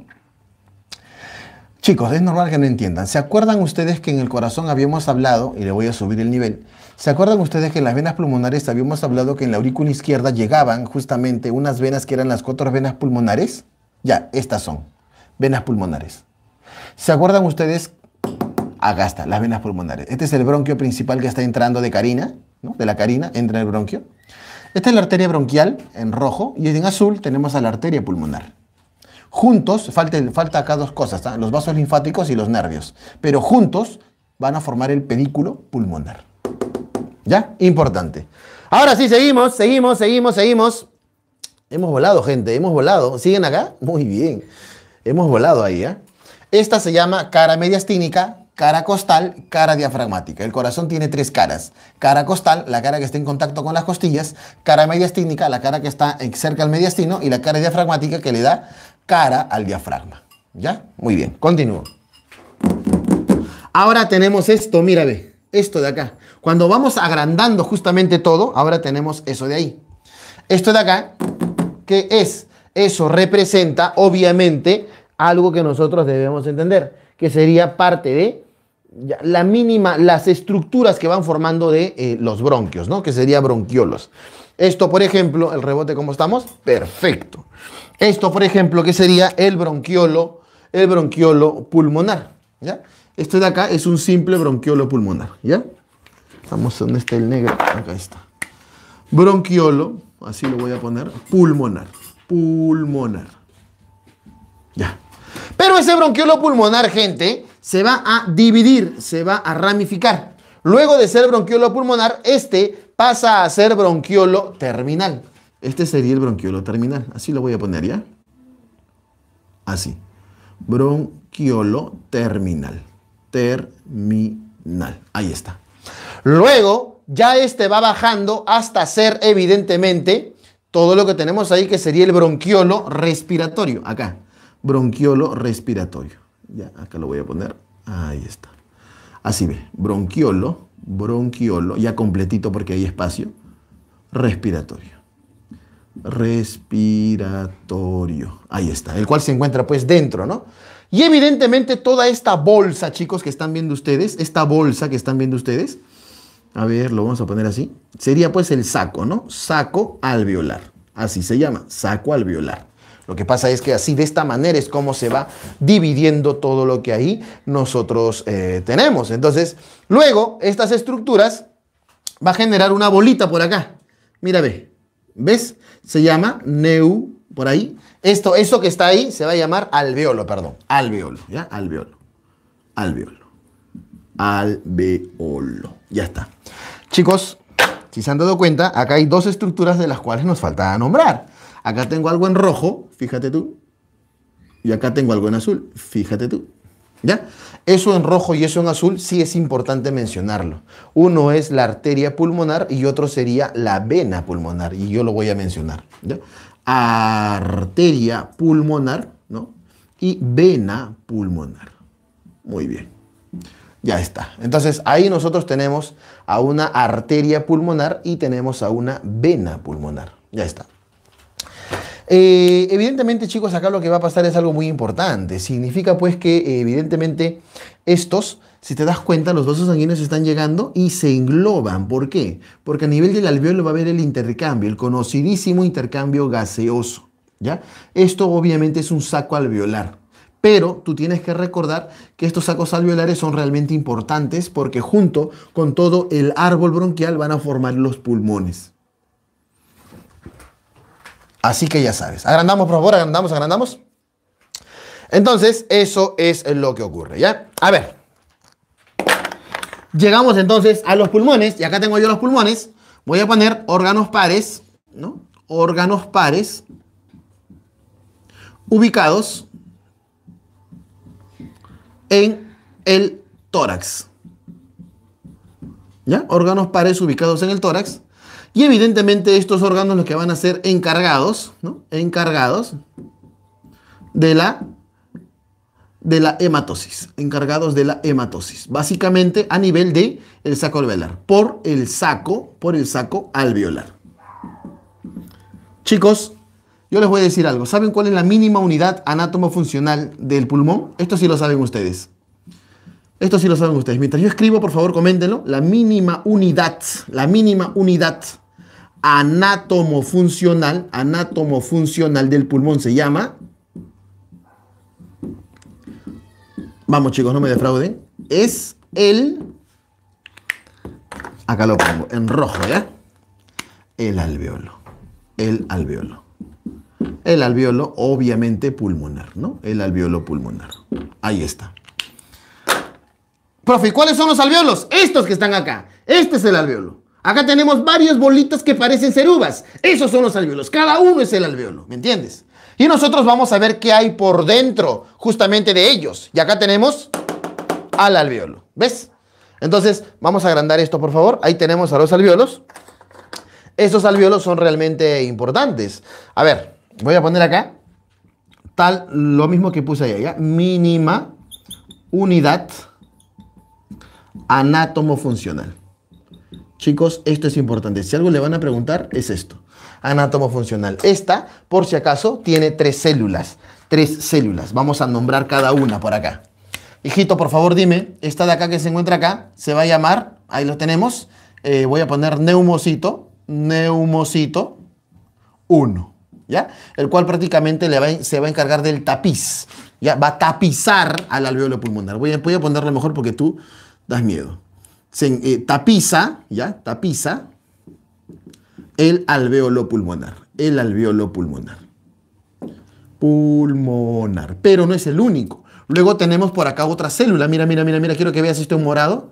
¿Lo ves o no lo ves? Eso que está ahí, ¿sabes de qué se encarga? Cualquier cosa, cualquier tóxico que haya llegado y haya vulnerado tus defensas, ya haya llegado hasta tus alveolos, polvo, tiza, etcétera de cosas, él se va a encargar de destruirlo, se lo va a comer. ¿Sabes cómo se llama? Se llama macrófago. Macrófago alveolar, así se llama, macrófago alveolar. Llamado también célula del polvo, ¿no? Llamado, llamado célula del polvo. Célula del polvo. Y se encarga justamente, eh, bueno, su nombre lo dice, ¿no? Macrófago. Devora las sustancias o cuerpos extraños. Y luego tenemos esta que se encuentra acá, que evidentemente sería pues eh, el neumocito, por acá lo pongo, neumocito, así se llama, neumocito 2. Este neumocito 2, chicos, es realmente importante. Pero ¿sabes por qué es importante? Es importante porque ese se va a encargar básicamente de qué? De formar, voy a, voy a poner acá, elabora, ¿no? Elabora la sustancia, así se llama, y esto es importante, gente, surfactante surfactante. ¿Qué hace la sustancia surfactante? Si claro que se respeta, ¿sabe qué hace la sustancia surfactante? Chicos, ¿saben qué hace la sustancia surfactante? Por acá yo pongo evita, evita el colapso, ¿no? El colapso alveolar. Evita el colapso alveolar. O sea, evita que las paredes se junten o se peguen. Dame panorama, por favor. Quiero hablar con los muchachos. Y hablamos con eh, el rebote. Activa el rebote. Activamos el rebote. Quiero hablar con la gente. Ya está. Chicos, yo les explico. Yo les digo. Eh, a ver. este neumocito 2 se encarga básicamente, ¿sabes de qué? Este neumocito 2 se encarga de elaborar la sustancia surfactante. La sustancia surfactante evita que el alveolo se pegue. Te explico, te explico, te explico. ¿Cuántas veces has inflado un globo? Muchas. Un globo. Al momento de inflar el globo, las paredes de ese globo se van expandiendo, se van separando, ¿sí o no? Ya. Pero ¿qué pasa si en vez de inflar ese globo, en vez de, en vez de hacer eso, tú absorbes? Si absorbes las paredes del globo, se van a pegar, ¿sí o no? Se van a pegar. Y al pegar, evidentemente, no va a entrar aire. No va a entrar aire. Si eso pasa en tus pulmones, significa que no tienes una adecuada sustancia surfactante. ¿Y quién elabora sustancia surfactante? El neumocito número 2. Repito, el neumocito número 2 forma sustancia surfactante. Y la sustancia surfactante evita que las paredes del alveolo se colapsen. O sea, ¿me entiendes? Y cuando eso pasa, el paciente tiene una crisis. Se agarra y le falta aire. Está el paciente. Y el paciente sabe que siempre le pasa eso porque muchas veces se vuelve asmático. Yo recuerdo cuando tenía 7 años aproximadamente, llegó un vecino que hasta ahorita lo tengo en mi casa de cerca en el barrio y él era asmático, tenía 7, 8 años, era asmático. Y cuando jugamos, una vez jugamos partido, ya que no nos hablaba, jugábamos partido, teníamos 7, 8 años, éramos niños, yo no sabía nada de medicina. Y resulta pues que yo siempre lo veía antes de jugar con su inhalador. Ahora sé que se llama inhalador. Pero pues antes lo veía con una vaina que se echaba en el spray y decía, se está fumigando, ¿qué será? En una de esas cuando jugamos partido, estábamos jugando con toda la gente y en eso él agarra y le da una crisis. Se pone. Yo le digo, oye, oye, ¿qué fue? Oye, ya fue, ya, oye, ya. Oye, Ya, ya, ya, let's go, let's go, let's go, ya, tranquilo, ve. Y yo, estaba él y señalaba su mochila. Señalaba su mochila. Entonces, oye, oye, creo que se está ahogando. A ver, hoy dale esa cosa que, se echa a ver, a ver. Y la gente se preocupó, pues todos mocosos, todos éramos niños. Agarra y abrimos la mochila. Oye, toma, toma, toma. Y la agarra y, ¡ah! y se le cae. Se le cayó y pues eh, sonrió. Entonces yo dije, ah, está bromeando. Entonces él agarró, se agachó a recogerlo. ¡ah! Yo agarré y eh, lo pateé.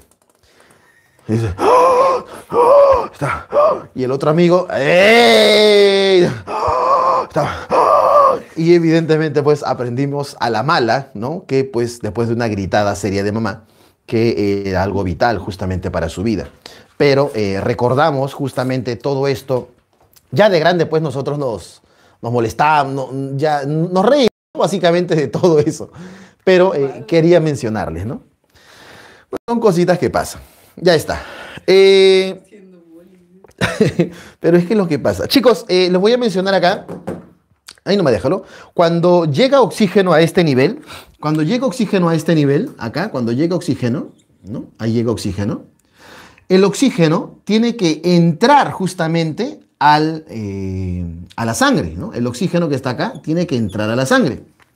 Y para que entre a la sangre, la gente se sigue riendo, y para que entre a la sangre, también debe salir CO2, ¿sí o no? Debe salir CO2. El CO2 debe llegar. El CO2 está aquí. Aquí está el CO2. Muy bien, debe salir. Entonces ahí tengo yo al CO2 y al oxígeno. Pero para que esto ocurra deben atravesar ciertas barreras. Solo un ciclero que se respeta, cuaderno plateado, lapicero dorado. Entonces quiero que me digan por favor cuáles son las barreras que nosotros tenemos ahí. A ver, dígame por favor, ¿cuáles son las capas que debe pasar eh, eh, esos gases para que pase justamente de un lado a otro? Vamos gente, con eso terminamos porque ya no nos queda mucho. Ya estamos prácticamente de salida. ¿Cuáles son las capas que debe pasar? Muy bien. Entonces, la primera de ellas obviamente es, por acá lo pongo, la primera de ellas obviamente es, uno, la sustancia surfactante. La sustancia surfactante. El oxígeno debe primero atravesar la sustancia surfactante. Luego va a atravesar, evidentemente, el epitelio, el epitelio alveolar. Alveolar, así se llama, ¿ya? Luego, luego ya tenemos, obviamente, a la membrana basal, ¿no? Del epitelio alveolar. Eh, a ver, la gente me está comentando ahí. Está comentando los chicos, ¿sí? Todo bien, ¿no? ¿Alguna pregunta? Muy bien. La membrana basal del epitelio, epitelio alveolar. ¿no? Es del epitelio alveolar. La membrana basal del epitelio alveolar, gente, no es otra cosa más que eh, la base justamente por donde crece todo lo que nosotros ahí tenemos. Es importante. Entonces tenemos sustancia surfactante, epitelio alveolar, la membrana epitelio alveolar para que luego por fin ya pase al epitelio del capilar. Porque una vez que pasa la membrana del epitelio alveolar, ya llegamos a los capilares. Y luego evidentemente tenemos ya a la membrana basal, ¿no? Del epitelio lo que acabo de decir, capilar. Y luego ya llegamos prácticamente hacia el otro, hacia el otro, ¿no? Hacia el otro lado. Ya está. Continúo. Ya, profe, ¿qué más? Bueno, obviamente el COVID-19 lo que hace es alterar justamente este flujo, haciendo que haya un incremento de presión hidrostática, haciendo una edematización. Este esta edematización a nivel de los alveolos lo que hacen pues es ceder básicamente a una, una posición de cúbito ventral tras unas 16 horas de que el paciente se encuentre en, eh, en esta misma, ¿no? Porque luego va a haber una asfixia ortopneica, pero bueno, eso lo dejamos ahí. Ya, ahora sí. Eh, no, no, no quiero que huelen chicos, yo creo que todo va bien ahí, ¿no? Ya, ahora sí. ¿Seguimos entonces? Ya, ahora sí. Muy bien, entonces ahí tienes toda la sustancia surfactante, epitelio alveolar, membrana epitelio alveolar, membrana epitelio capilar. Profe, ¿qué son estos? Son justamente las capas de que tiene que atravesar el oxígeno para que pase hacia el capilar. ¿Ya, gente? ¿Sí? Estamos bien, ¿no? Acá. Muy bien, chicos, llegamos a la parte final de la clase y en esta ocasión, por acá, por favor, movemos, la, movemos hacia acá la cámara. Vamos a llegar a la parte final de la clase y Ahora sí, vamos a hablar acerca de fisiología respiratoria. Fisiología respiratoria. Lo que ocurre en una, eh, en una inspiración y en una expiración. Así que necesito que eh, prestes mucha atención acá porque la gente se confunde. ¿Ya, chicos? Eh, chicos, antes de que, de que hablemos de fisiología respiratoria, ¿alguien sabe, alguien de ustedes sabe, por si acaso, cuántas veces respiramos en un minuto? ¿Sí se nota? Quiero ver mi rebote. Sí se nota, excelente. nosotros respiramos aproximadamente, a ver, ponchame ya por favor, no, esto no lo he escrito y acá, acá yo veo un espacio. Acá yo veo un espacio. La frecuencia respiratoria en un adulto es aproximadamente de 14 a 16 respiraciones por minuto. ¿Ya, hijito? Respiraciones por minuto. Es un aproximado. Vamos para allá. ¿Quién controla tu respiración? Vamos, gente. ¿Quién se encarga de controlar tu respiración? A ver, ¿alguien sabe? Sí lo sabes, ¿no? Yo creo que sí lo sabes. Tu respiración es controlado por, yo voy a poner aquí la letra B y luego voy a poner la letra R. Y tú vas a saber de qué estoy hablando. ¿Qué dice la gente? Yo voy a poner la letra B y luego voy a poner la letra R y tú vas a saber de qué estoy hablando. Nada, no dicen, nadie dice bulbo. Muy bien, bulbo raquidio. Muy bien, excelente. El bulbo raquidio. Muy bien, chicos. Eh, bueno, el punto es que eh, la respiración ocurre en dos procesos. Cuando entra aire, el pulmón se infla. Pero tú no vas a decir infla. Tú dices infla, profe, cuando entra aire el pulmón se infla. No, tú no vas a decir eso. Suena feo. Tienes que hablar con propiedad. el pulmón no se infla, se infla un globo el pulmón se insufla. ¿Ya? Entonces, cuando entra aire, el pulmón se insufla. No sé si escuchaste o te diste cuenta, si me estás siguiendo la transmisión, pero hace rato había dicho la insuflación. A modo de broma, obviamente por la morición, ¿no? la suicidación, etc. Y en este caso, cuando el pulmón se llena de aire, se está insuflando. ¿Ya? Pero para que se llene de aire, debe haber una presión diferente a la de adentro. ¿Cuánto es la presión atmosférica? Del, ambiente. Chicos, ¿cuánto es la presión de la atmósfera? Bueno, mientras me van respondiendo, yo acá voy escribiendo, ¿ya? ¿Me avisa si responde? 16. ¿16? 16 han puesto? ¿Cómo va a ser 16, gente? ¿Qué tienen ustedes? Siguen en bulbo raquillo ellos, ¿eh? Muy bien, ya lo dijeron, ya lo dijeron. 760 milímetros de mercurio. Me había asustado, chicos, mil disculpas. 760 milímetros de mercurio es la presión atmosférica. Así que yo voy a poner aquí una rayita y voy a poner una P y una A. Acá voy a poner una P y una A. Es que se han quedado allá seguro. Se ha lajeado, se le ha lajeado a ellos. Presión atmosférica, presión atmosférica 760 milímetros de mercurio. Pero ¿cuánto es la presión dentro de tu cuerpo cuando hay inspiración y expiración? Yo te explico rápidamente. Lo que acá está pasando, hijito, es una, lo que acá está pasando es una inspiración, ¿ya? Inspiración. Y lo que acá está pasando es una expiración. Así se llama, expiración. Ya, profe, ¿qué más? Ahora sí. En una inspiración, gente, y me vas a ayudar, por favor, ¿cuánto vale la presión dentro de tu cuerpo? En una inspiración, ¿cuánto vale la presión dentro de tu cuerpo? Vamos. ¿Cuánto vale la presión dentro de tu cuerpo cuando estás inspirando? Obviamente, chicos, en una inspiración forzada interviene el escaleno y el esternocleidomastoideo. En una expiración forzada intervienen los músculos abdominales y los intercostales internos, ¿ya? En una inspiración, gente, la presión es aproximadamente de 758 milímetros de mercurio, ¿ya? Y en una expiración es de 762 milímetros de mercurio. ¿Ya? ¿Por qué? Si la presión adentro del tórax, adentro de tu pulmón, es menos que la de afuera, entonces afuera el medio ambiente tiene suficiente fuerza para ganarle a tu cuerpo para que entre aire.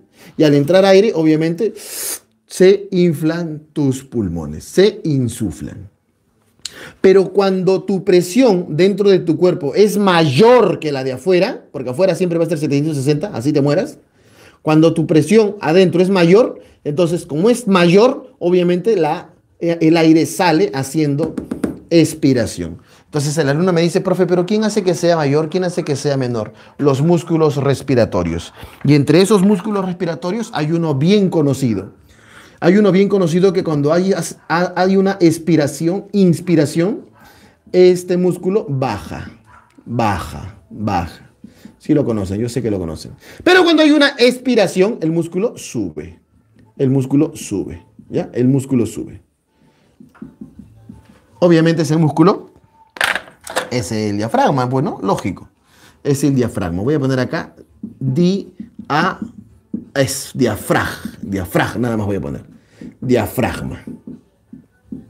Ya está. El diafragma obviamente cambia, cambia. Es importante recordar esto. El diafragma, el diafragma, el diafragma, cuando hay una inspiración, baja. baja. Y al bajar, obviamente, se está contrayendo. Contracción. ¿Ya? En cambio, el diafragma en una expiración, el diafragma, así voy a poner diaf, sube. Y si sube, obviamente se encuentra en una relajación. En una relajación. ¿Ya, chicos? Profe, ¿cuáles son mis músculos respiratorios? Uf, tienes a los escalenos, esternocleidomastoideo, tienes a los, eh, a los intercostales internos, etcétera, etcétera, etcétera. Es importante recordar eso. Muy bien. Esto, chicos, es pregunta de examen. Ya está. Amigos, llegamos a la parte final de la clase. Espirometría. Esto generalmente se aplica a pacientes que van a entrar a un trabajo y necesitan hacer un examen médico. ¿Sí les ha pasado? Ponme YouTube, por favor. Eh, entonces, al paciente se le pone un tubito en la boca y se le dice que respire. Hijito, toma aire, bota aire, pero solamente por los pulmones.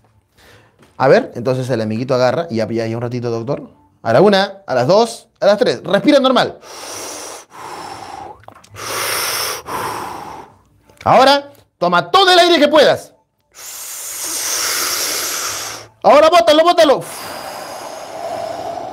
Ahora respira normal. Ya, listo, vete. Entonces, entonces, eh, todo eso, chicos, se dibuja acá. Se llama un espirograma. ¿Ya? Y, la, y la prueba se llama espirometría. Esto se para haciendo bastante en la clínica en la que yo trabajo. Siempre solicitamos esto para que el paciente, pues, para tener eh, de forma acorde si cumple o no con los requisitos básicos para que se someta a la operación a la que vamos a entrar. Muy bien, esto de acá el volumen normal que hace se llama BAC, se llama volumen de aire corriente, así se llama. Y lo estoy mencionando porque no lo voy a poner. Y si lo quisiera poner, ¿dónde lo pongo si no hay espacio? ¿Me entiendes? Volumen de aire corriente, así se llama. El de acá eh, se llama el BIF, volumen de inspiración forzada. Tú que me estás escuchando y apuntando a mi clase. Volumen de inspiración forzada. El de abajo se llama el BEF, volumen de expiración forzada. BEF. Y el último se llama el BR, volumen residual. Este volumen de aire ni siquiera se toca, mira. Este volumen de aire es el que siempre, ¿ya? Así te saques todo el aire.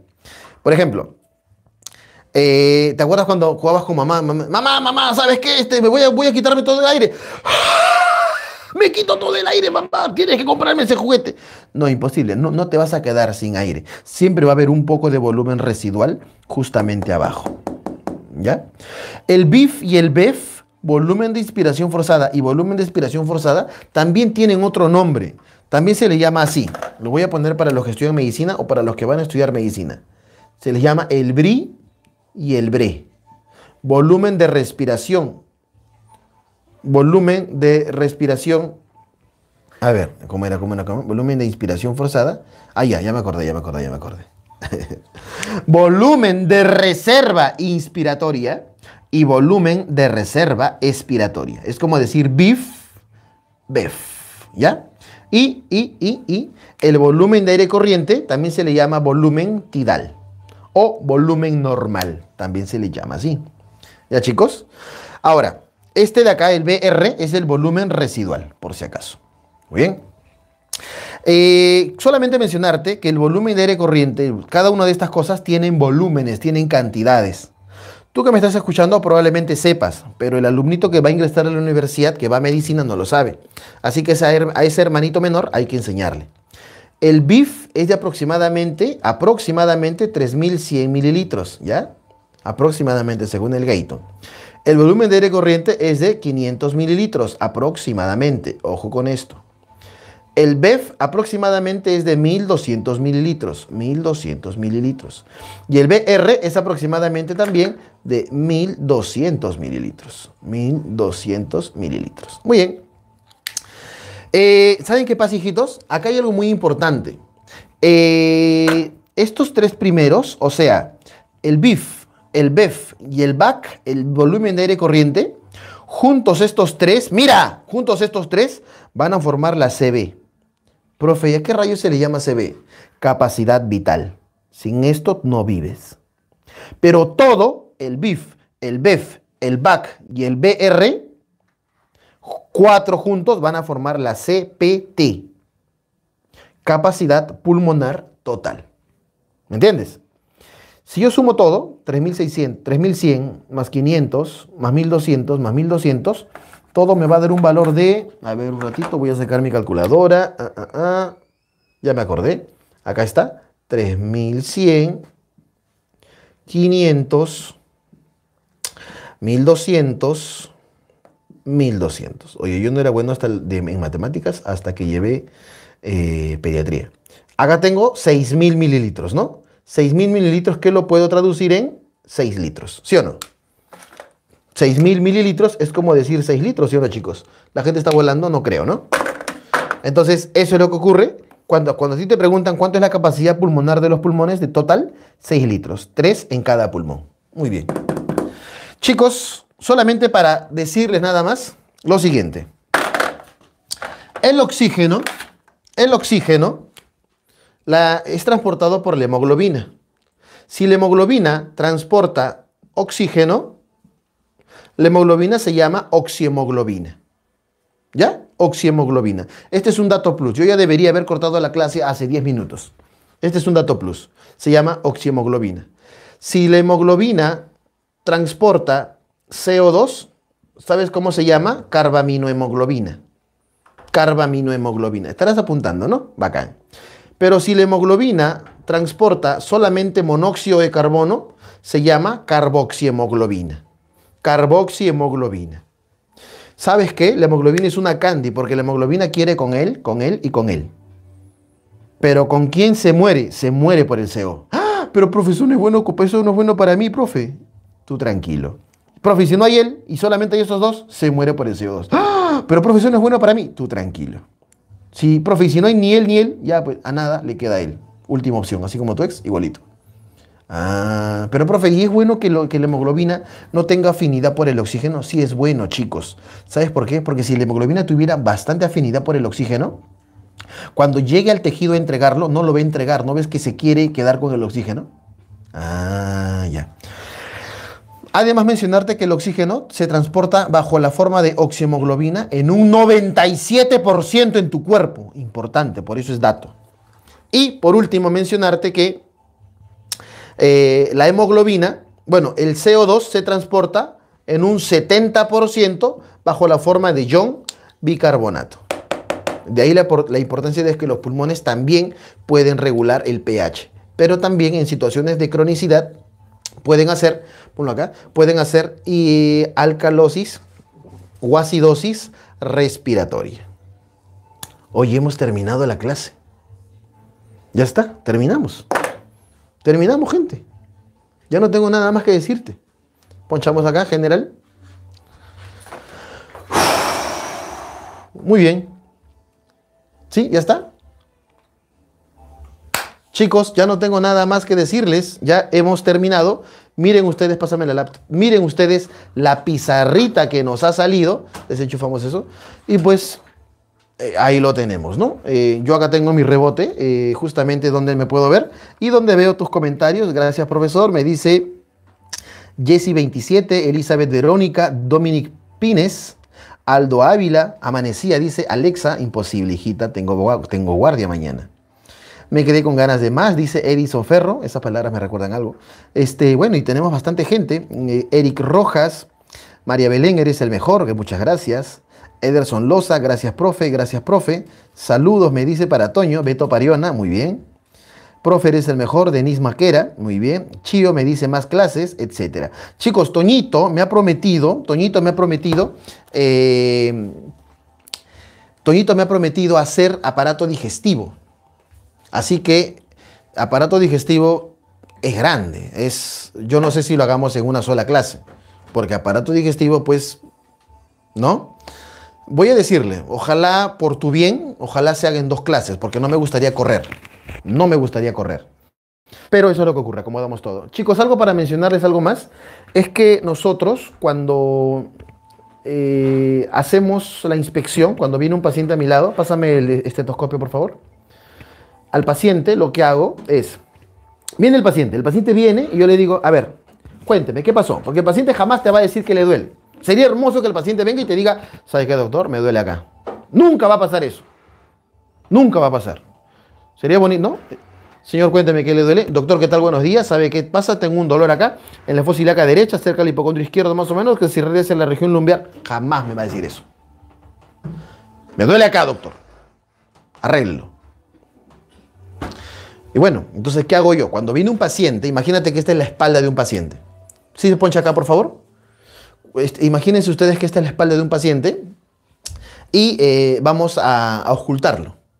En medicina, en semiología, perdón, hay cuatro pasos. Primero la inspección, que es observar al paciente. Dos, eh, que es la palpación, tocar al paciente. Luego es la percusión, golpear al paciente. Percusión, ¿cuántas veces están, tu médico, el médico te ha puesto la mano ahí y te ha hecho esto? ¿No es cierto? Y luego viene la auscultación, que es con el estetoscopio. Agarro las olivas, ya te enseñé cómo ponerse, que las olivas hacia adelante, mira, tienen una inclinación, ¿no es cierto? Tienen una inclinación. Las olivas hacia adelante y hago esto.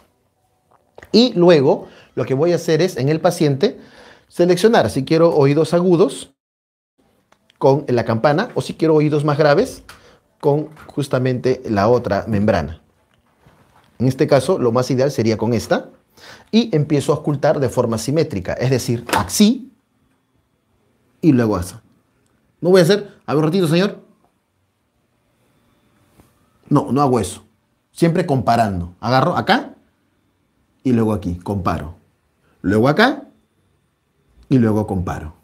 Y luego aquí y luego comparo. Entonces, de esta manera, yo voy jugando a modo de Z, haciendo que el paciente, obviamente, eh, tenga una mejor inspección y ya pudiendo, ya lo que oigas pues ya depende de ti. ¿no? Obviamente nosotros en la carrera de medicina nos educan. El oído se educa para poder escuchar roncantes, crepitantes, subcrepitantes, el famoso burbujeo, estertores, lo que quieras. ¿No? Entonces justamente eso es lo que pasa a este nivel. Se puede escuchar una telectasia, se puede escuchar unas, un cúmulo de secreciones, se puede escuchar una pleuritis, una merestinitis, se puede escuchar lo que quieras. Pero eso es lo que pasa ya gente. Eh, una vez, a modo de anécdota, me mandaron a revisar un paciente que estaba, eh, se, se, esperaba que fallezca, porque ya no había nada que hacer. Y pues la familia estaba resignada, me acerqué al paciente, yo agarré, era estudiante, en mi defensa era estudiante, y me puse de forma correcta las olivas. Agarré, señora, permiso, señor, perdón, Voy a revisar al paciente, típica de estudiantes. Y agarro y lo reviso. Agarro y lo reviso. A ver, señora, reviso al paciente.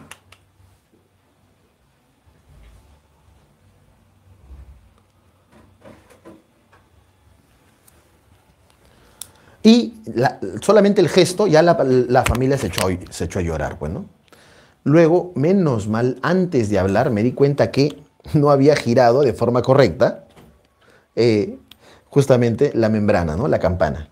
Porque si yo lo giro, este funciona y este ya no. Yo había escuchado de esa forma, ¿no? Yo había girado, había activado a este y había escuchado con este. Entonces, menos mal, mm, señora, ¿sabe qué? El paciente todavía está respirando, no hay ningún problema, que esto, que el otro, bla, bla, bla, bla, bla. Pero para que no les pase a ustedes, ¿no? Evidentemente, eso es lo que ocurre. Bien, chicos, yo creo que hemos llegado a la parte final. ¿Sí? No hay ningún problema. Eh, agradezco a cada uno de ustedes, agradezco justamente esto. Yo soy médico cirujano, mi código de colegio médico es 86586.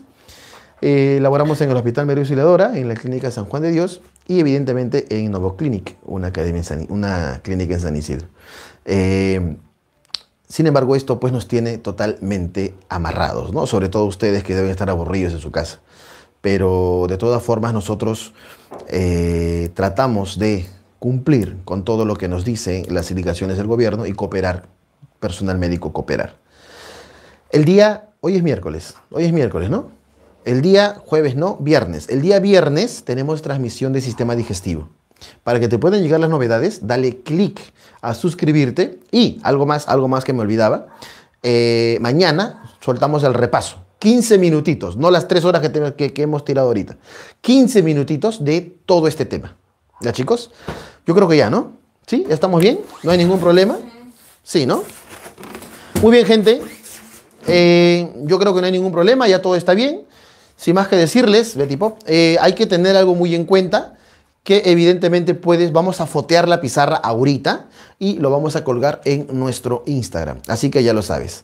Eh, puedes descargar las fotos del Instagram, las chuletas, los que pertenecen al grupo WhatsApp y nada más seguirnos en el Facebook que también estamos.